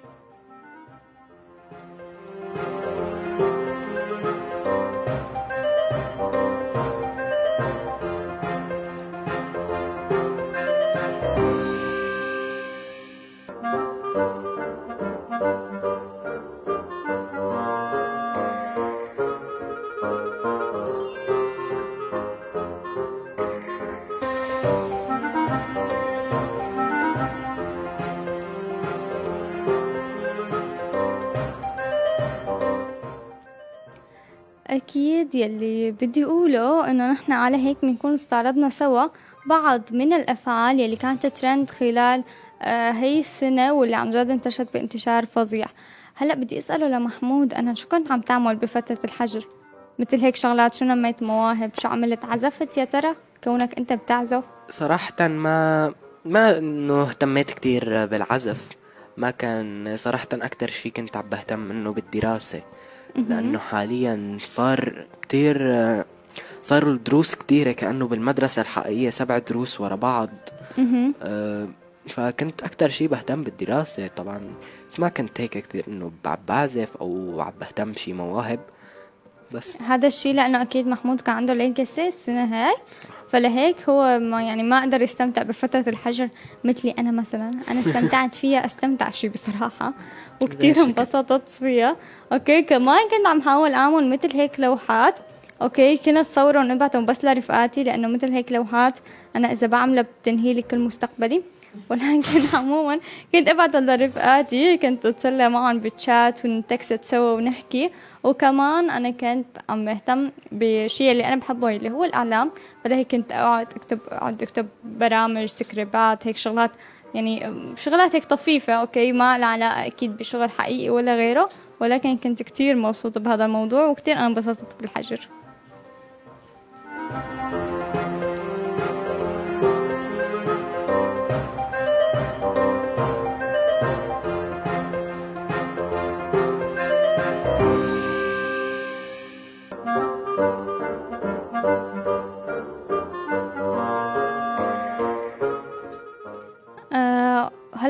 ما بعرف أنا قبل ما انهيها حابة كمان أستفسر عنكم أنتو شو عملتوا خلال فترة الحجر؟ شو المواهب يلي نميتوها؟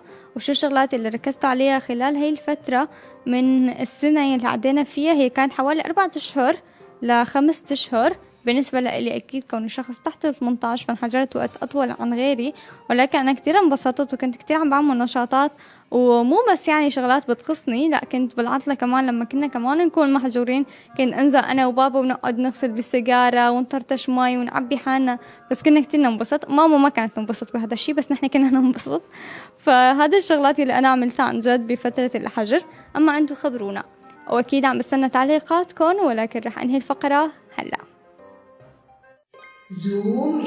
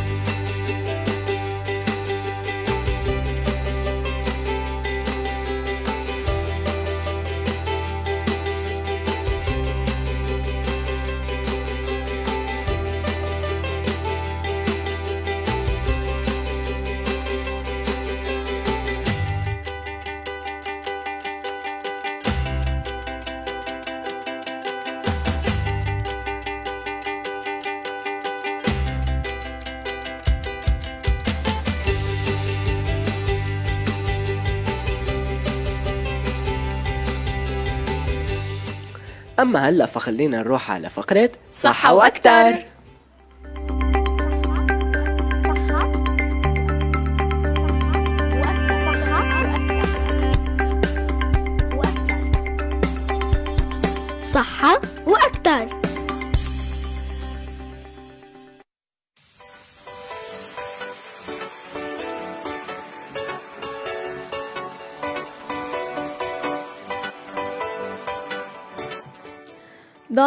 ونافع. هو موضوع آخر فقراتنا لليوم يلي هي صحة وأكتر.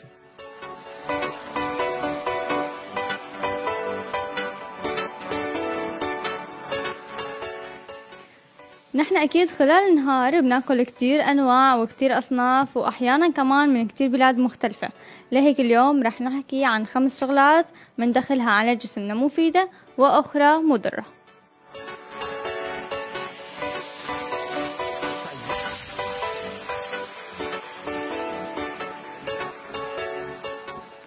أول شيء اللي هي الماء. من المعلوم أنه شرب الماء لا يقل عن لترين من الماء يوميا وهو أمر مفيد للصحة. حيث أن ترطيب الجسم والحفاظ على مستوى على مستوى السوائل فيه هو أمر مهم لمساعدة الكبد على التخلص من السموم التي لا يحتاجها الجسم أو لا يتقبلها.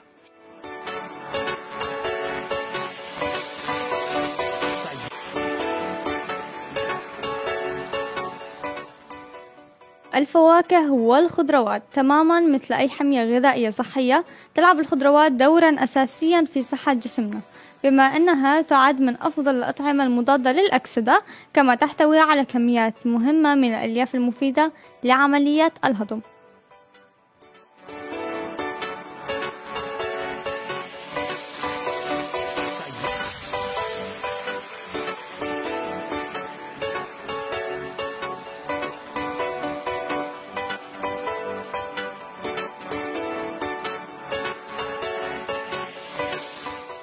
وأهم أنواع الخضروات وأكثرها فائدة الخرشوف والبطاطس الحلوة والجزر والبروكلي والقرنبيط والسبانخ. أما بالنسبة للفواكه فيجب عدم إهمال تناول الحمضيات مثل العنب والتفاح والتوت والجريب فورت والبرتقال.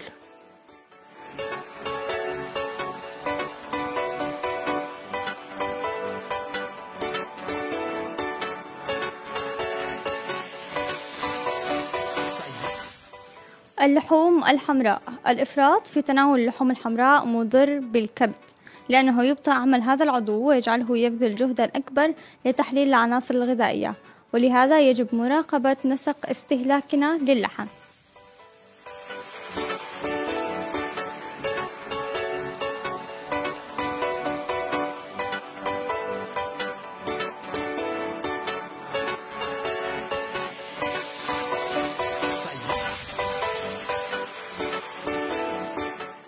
المشروبات الغازية. الإكثار من هذه المشروبات يعد, يعد أيضا ضار بالصحة ويعود ذلك بالأساس إلى احتوائها على كميات مرتفعة من السكر والكربوهيدرات المكررة. وكل هذا السكر يتراكم في الكبد ويجعل من الصعب التخلص منه وهو ما قد يؤدي إلى العديد من المضاعفات مثل الالتهاب.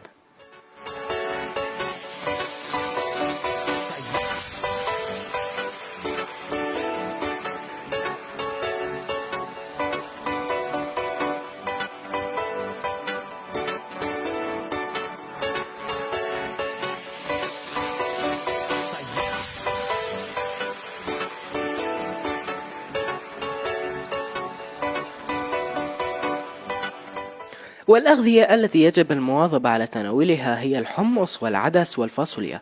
أما بالنسبة للمكسرات فيجب التركيز على الجوز والكستنة اللذان يجب تناولهما كلما أمكن ذلك.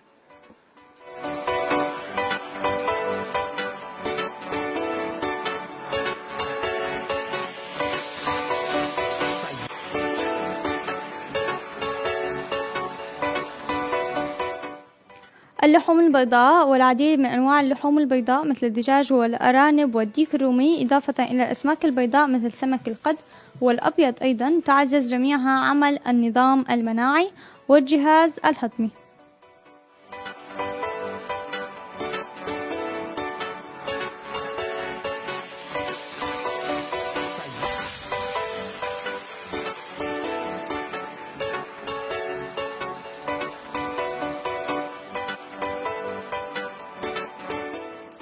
القهوة والشاي سواء كنت من محبي القهوة أو الشاي فإن كليهما مفيد حيث يعتبران من مضادات الأكسدة ويعززان وظائف الكبد كما أن الكافيين يساعد على الهضم.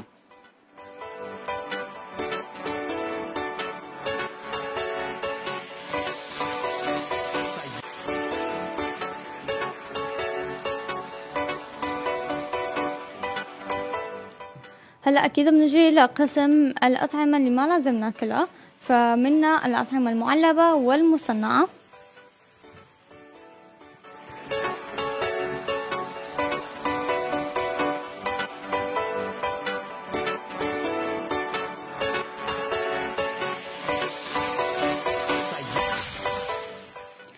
الأطعمة المطبوخة سلفا والأكلات المدخنة وعلب المصبرات. اللحوم المجمدة وما إلى ذلك ويعتبر يعتبر استهلاكها بشكل مكثف مضر بسبب كمية المواد الحافظة الموجودة فيها. وفي الواقع يمكن أن يؤدي عدد من هذه المنتجات إلى أمراض خطيرة مثل السرطان الكبد.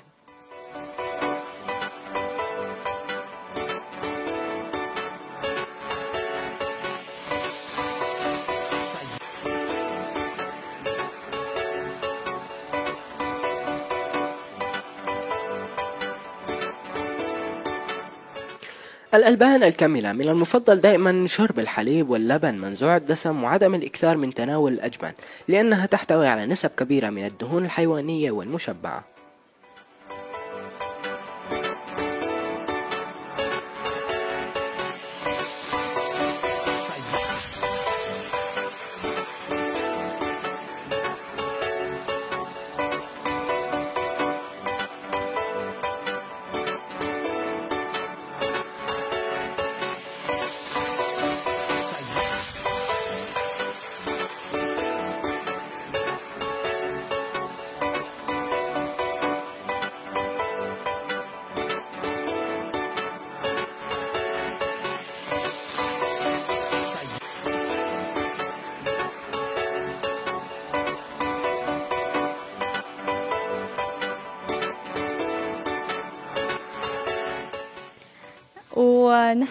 بآخر إشي إلنا بنكون نحن هيك خلصنا فقرة صحة وأكتر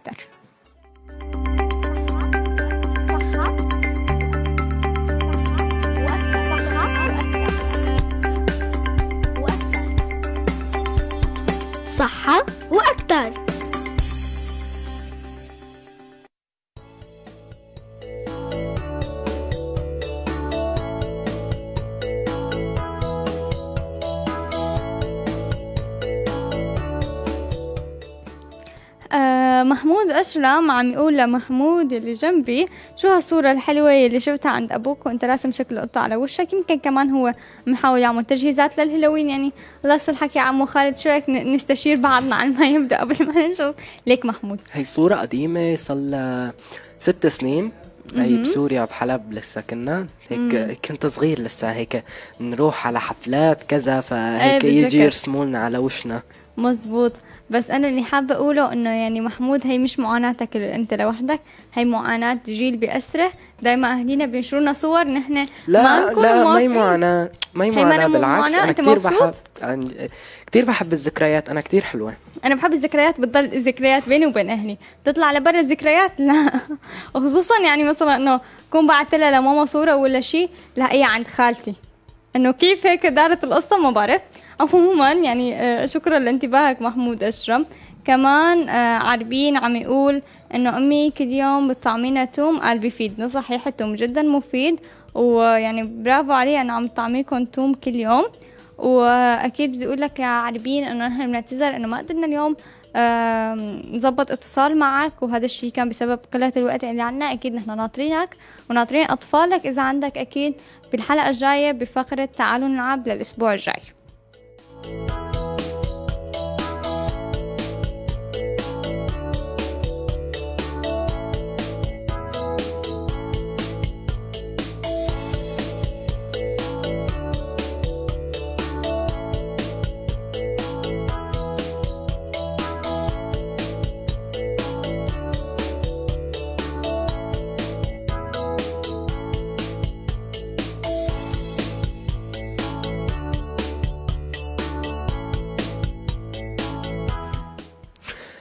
أكيد هيك بكون خلص. خلص برنامج بدي ألعب. أكيد استمتع استمتعنا كثير وإن شاء الله أنتم كمان استفدتوا من الصحة وأكثر ومن بيئة ومن أخبار هون. شكرا لكل تابعونا واللي شاركوا معنا. أه شكرا لكلياتكم لكل اللي علقوا لكل عليا. شكرا كثير عفواً. شكرا لدليار اللي طالع لنا صورنا كثير حلوة. شكرا إلك. أه دليار أنا يمكن من أسيل؟ يا. عيد ميلادها. شكرا كثير لك أسيل على الإعداد الصوتي و اليوم أسيل هي أكثر حدا تعب معك بسبب المايك. يعني معقول ننسى اسمها؟ عموما أكيد شكرا كثير لك أسيل. لو بعرف الكنية كاملة كمان كان قلت. okay شكرا أكيد لدليار أنا عذبته كثير اليوم لدليار بخصوص الصور. شكرا أكيد لمحمود. شكرا لضيفنا يلي كان معنا. وشكرا أكيد لهي الهدية الظريفة يلي أعطانا إياها. آه لهلأ هو ما قرر لمين. أنا برأيي إنه هي تشاركية لروزنا جميعا. فأنا هيك برأيي. أو انقطعه okay كل واحد ياخذ شقفة ويحطها هيك سنسال برقبته ممكن كمان فكرة يعني. وشكرا أكيد لوجودكم معنا. شكرا لإتصالاتكم لمشاركاتكم وناطرينكم مثل العادة الأسبوع الجاي بحلقة جديدة. bye bye.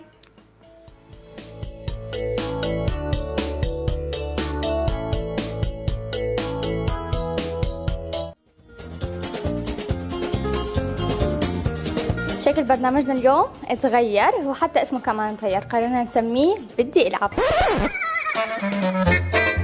بدي ألعب. شلنا لكم فقرات ضفنا لكم فقرات وأشياء ثانية الدول؟ بفقرتنا الثانية رح يكون اسمها تعالوا نلعب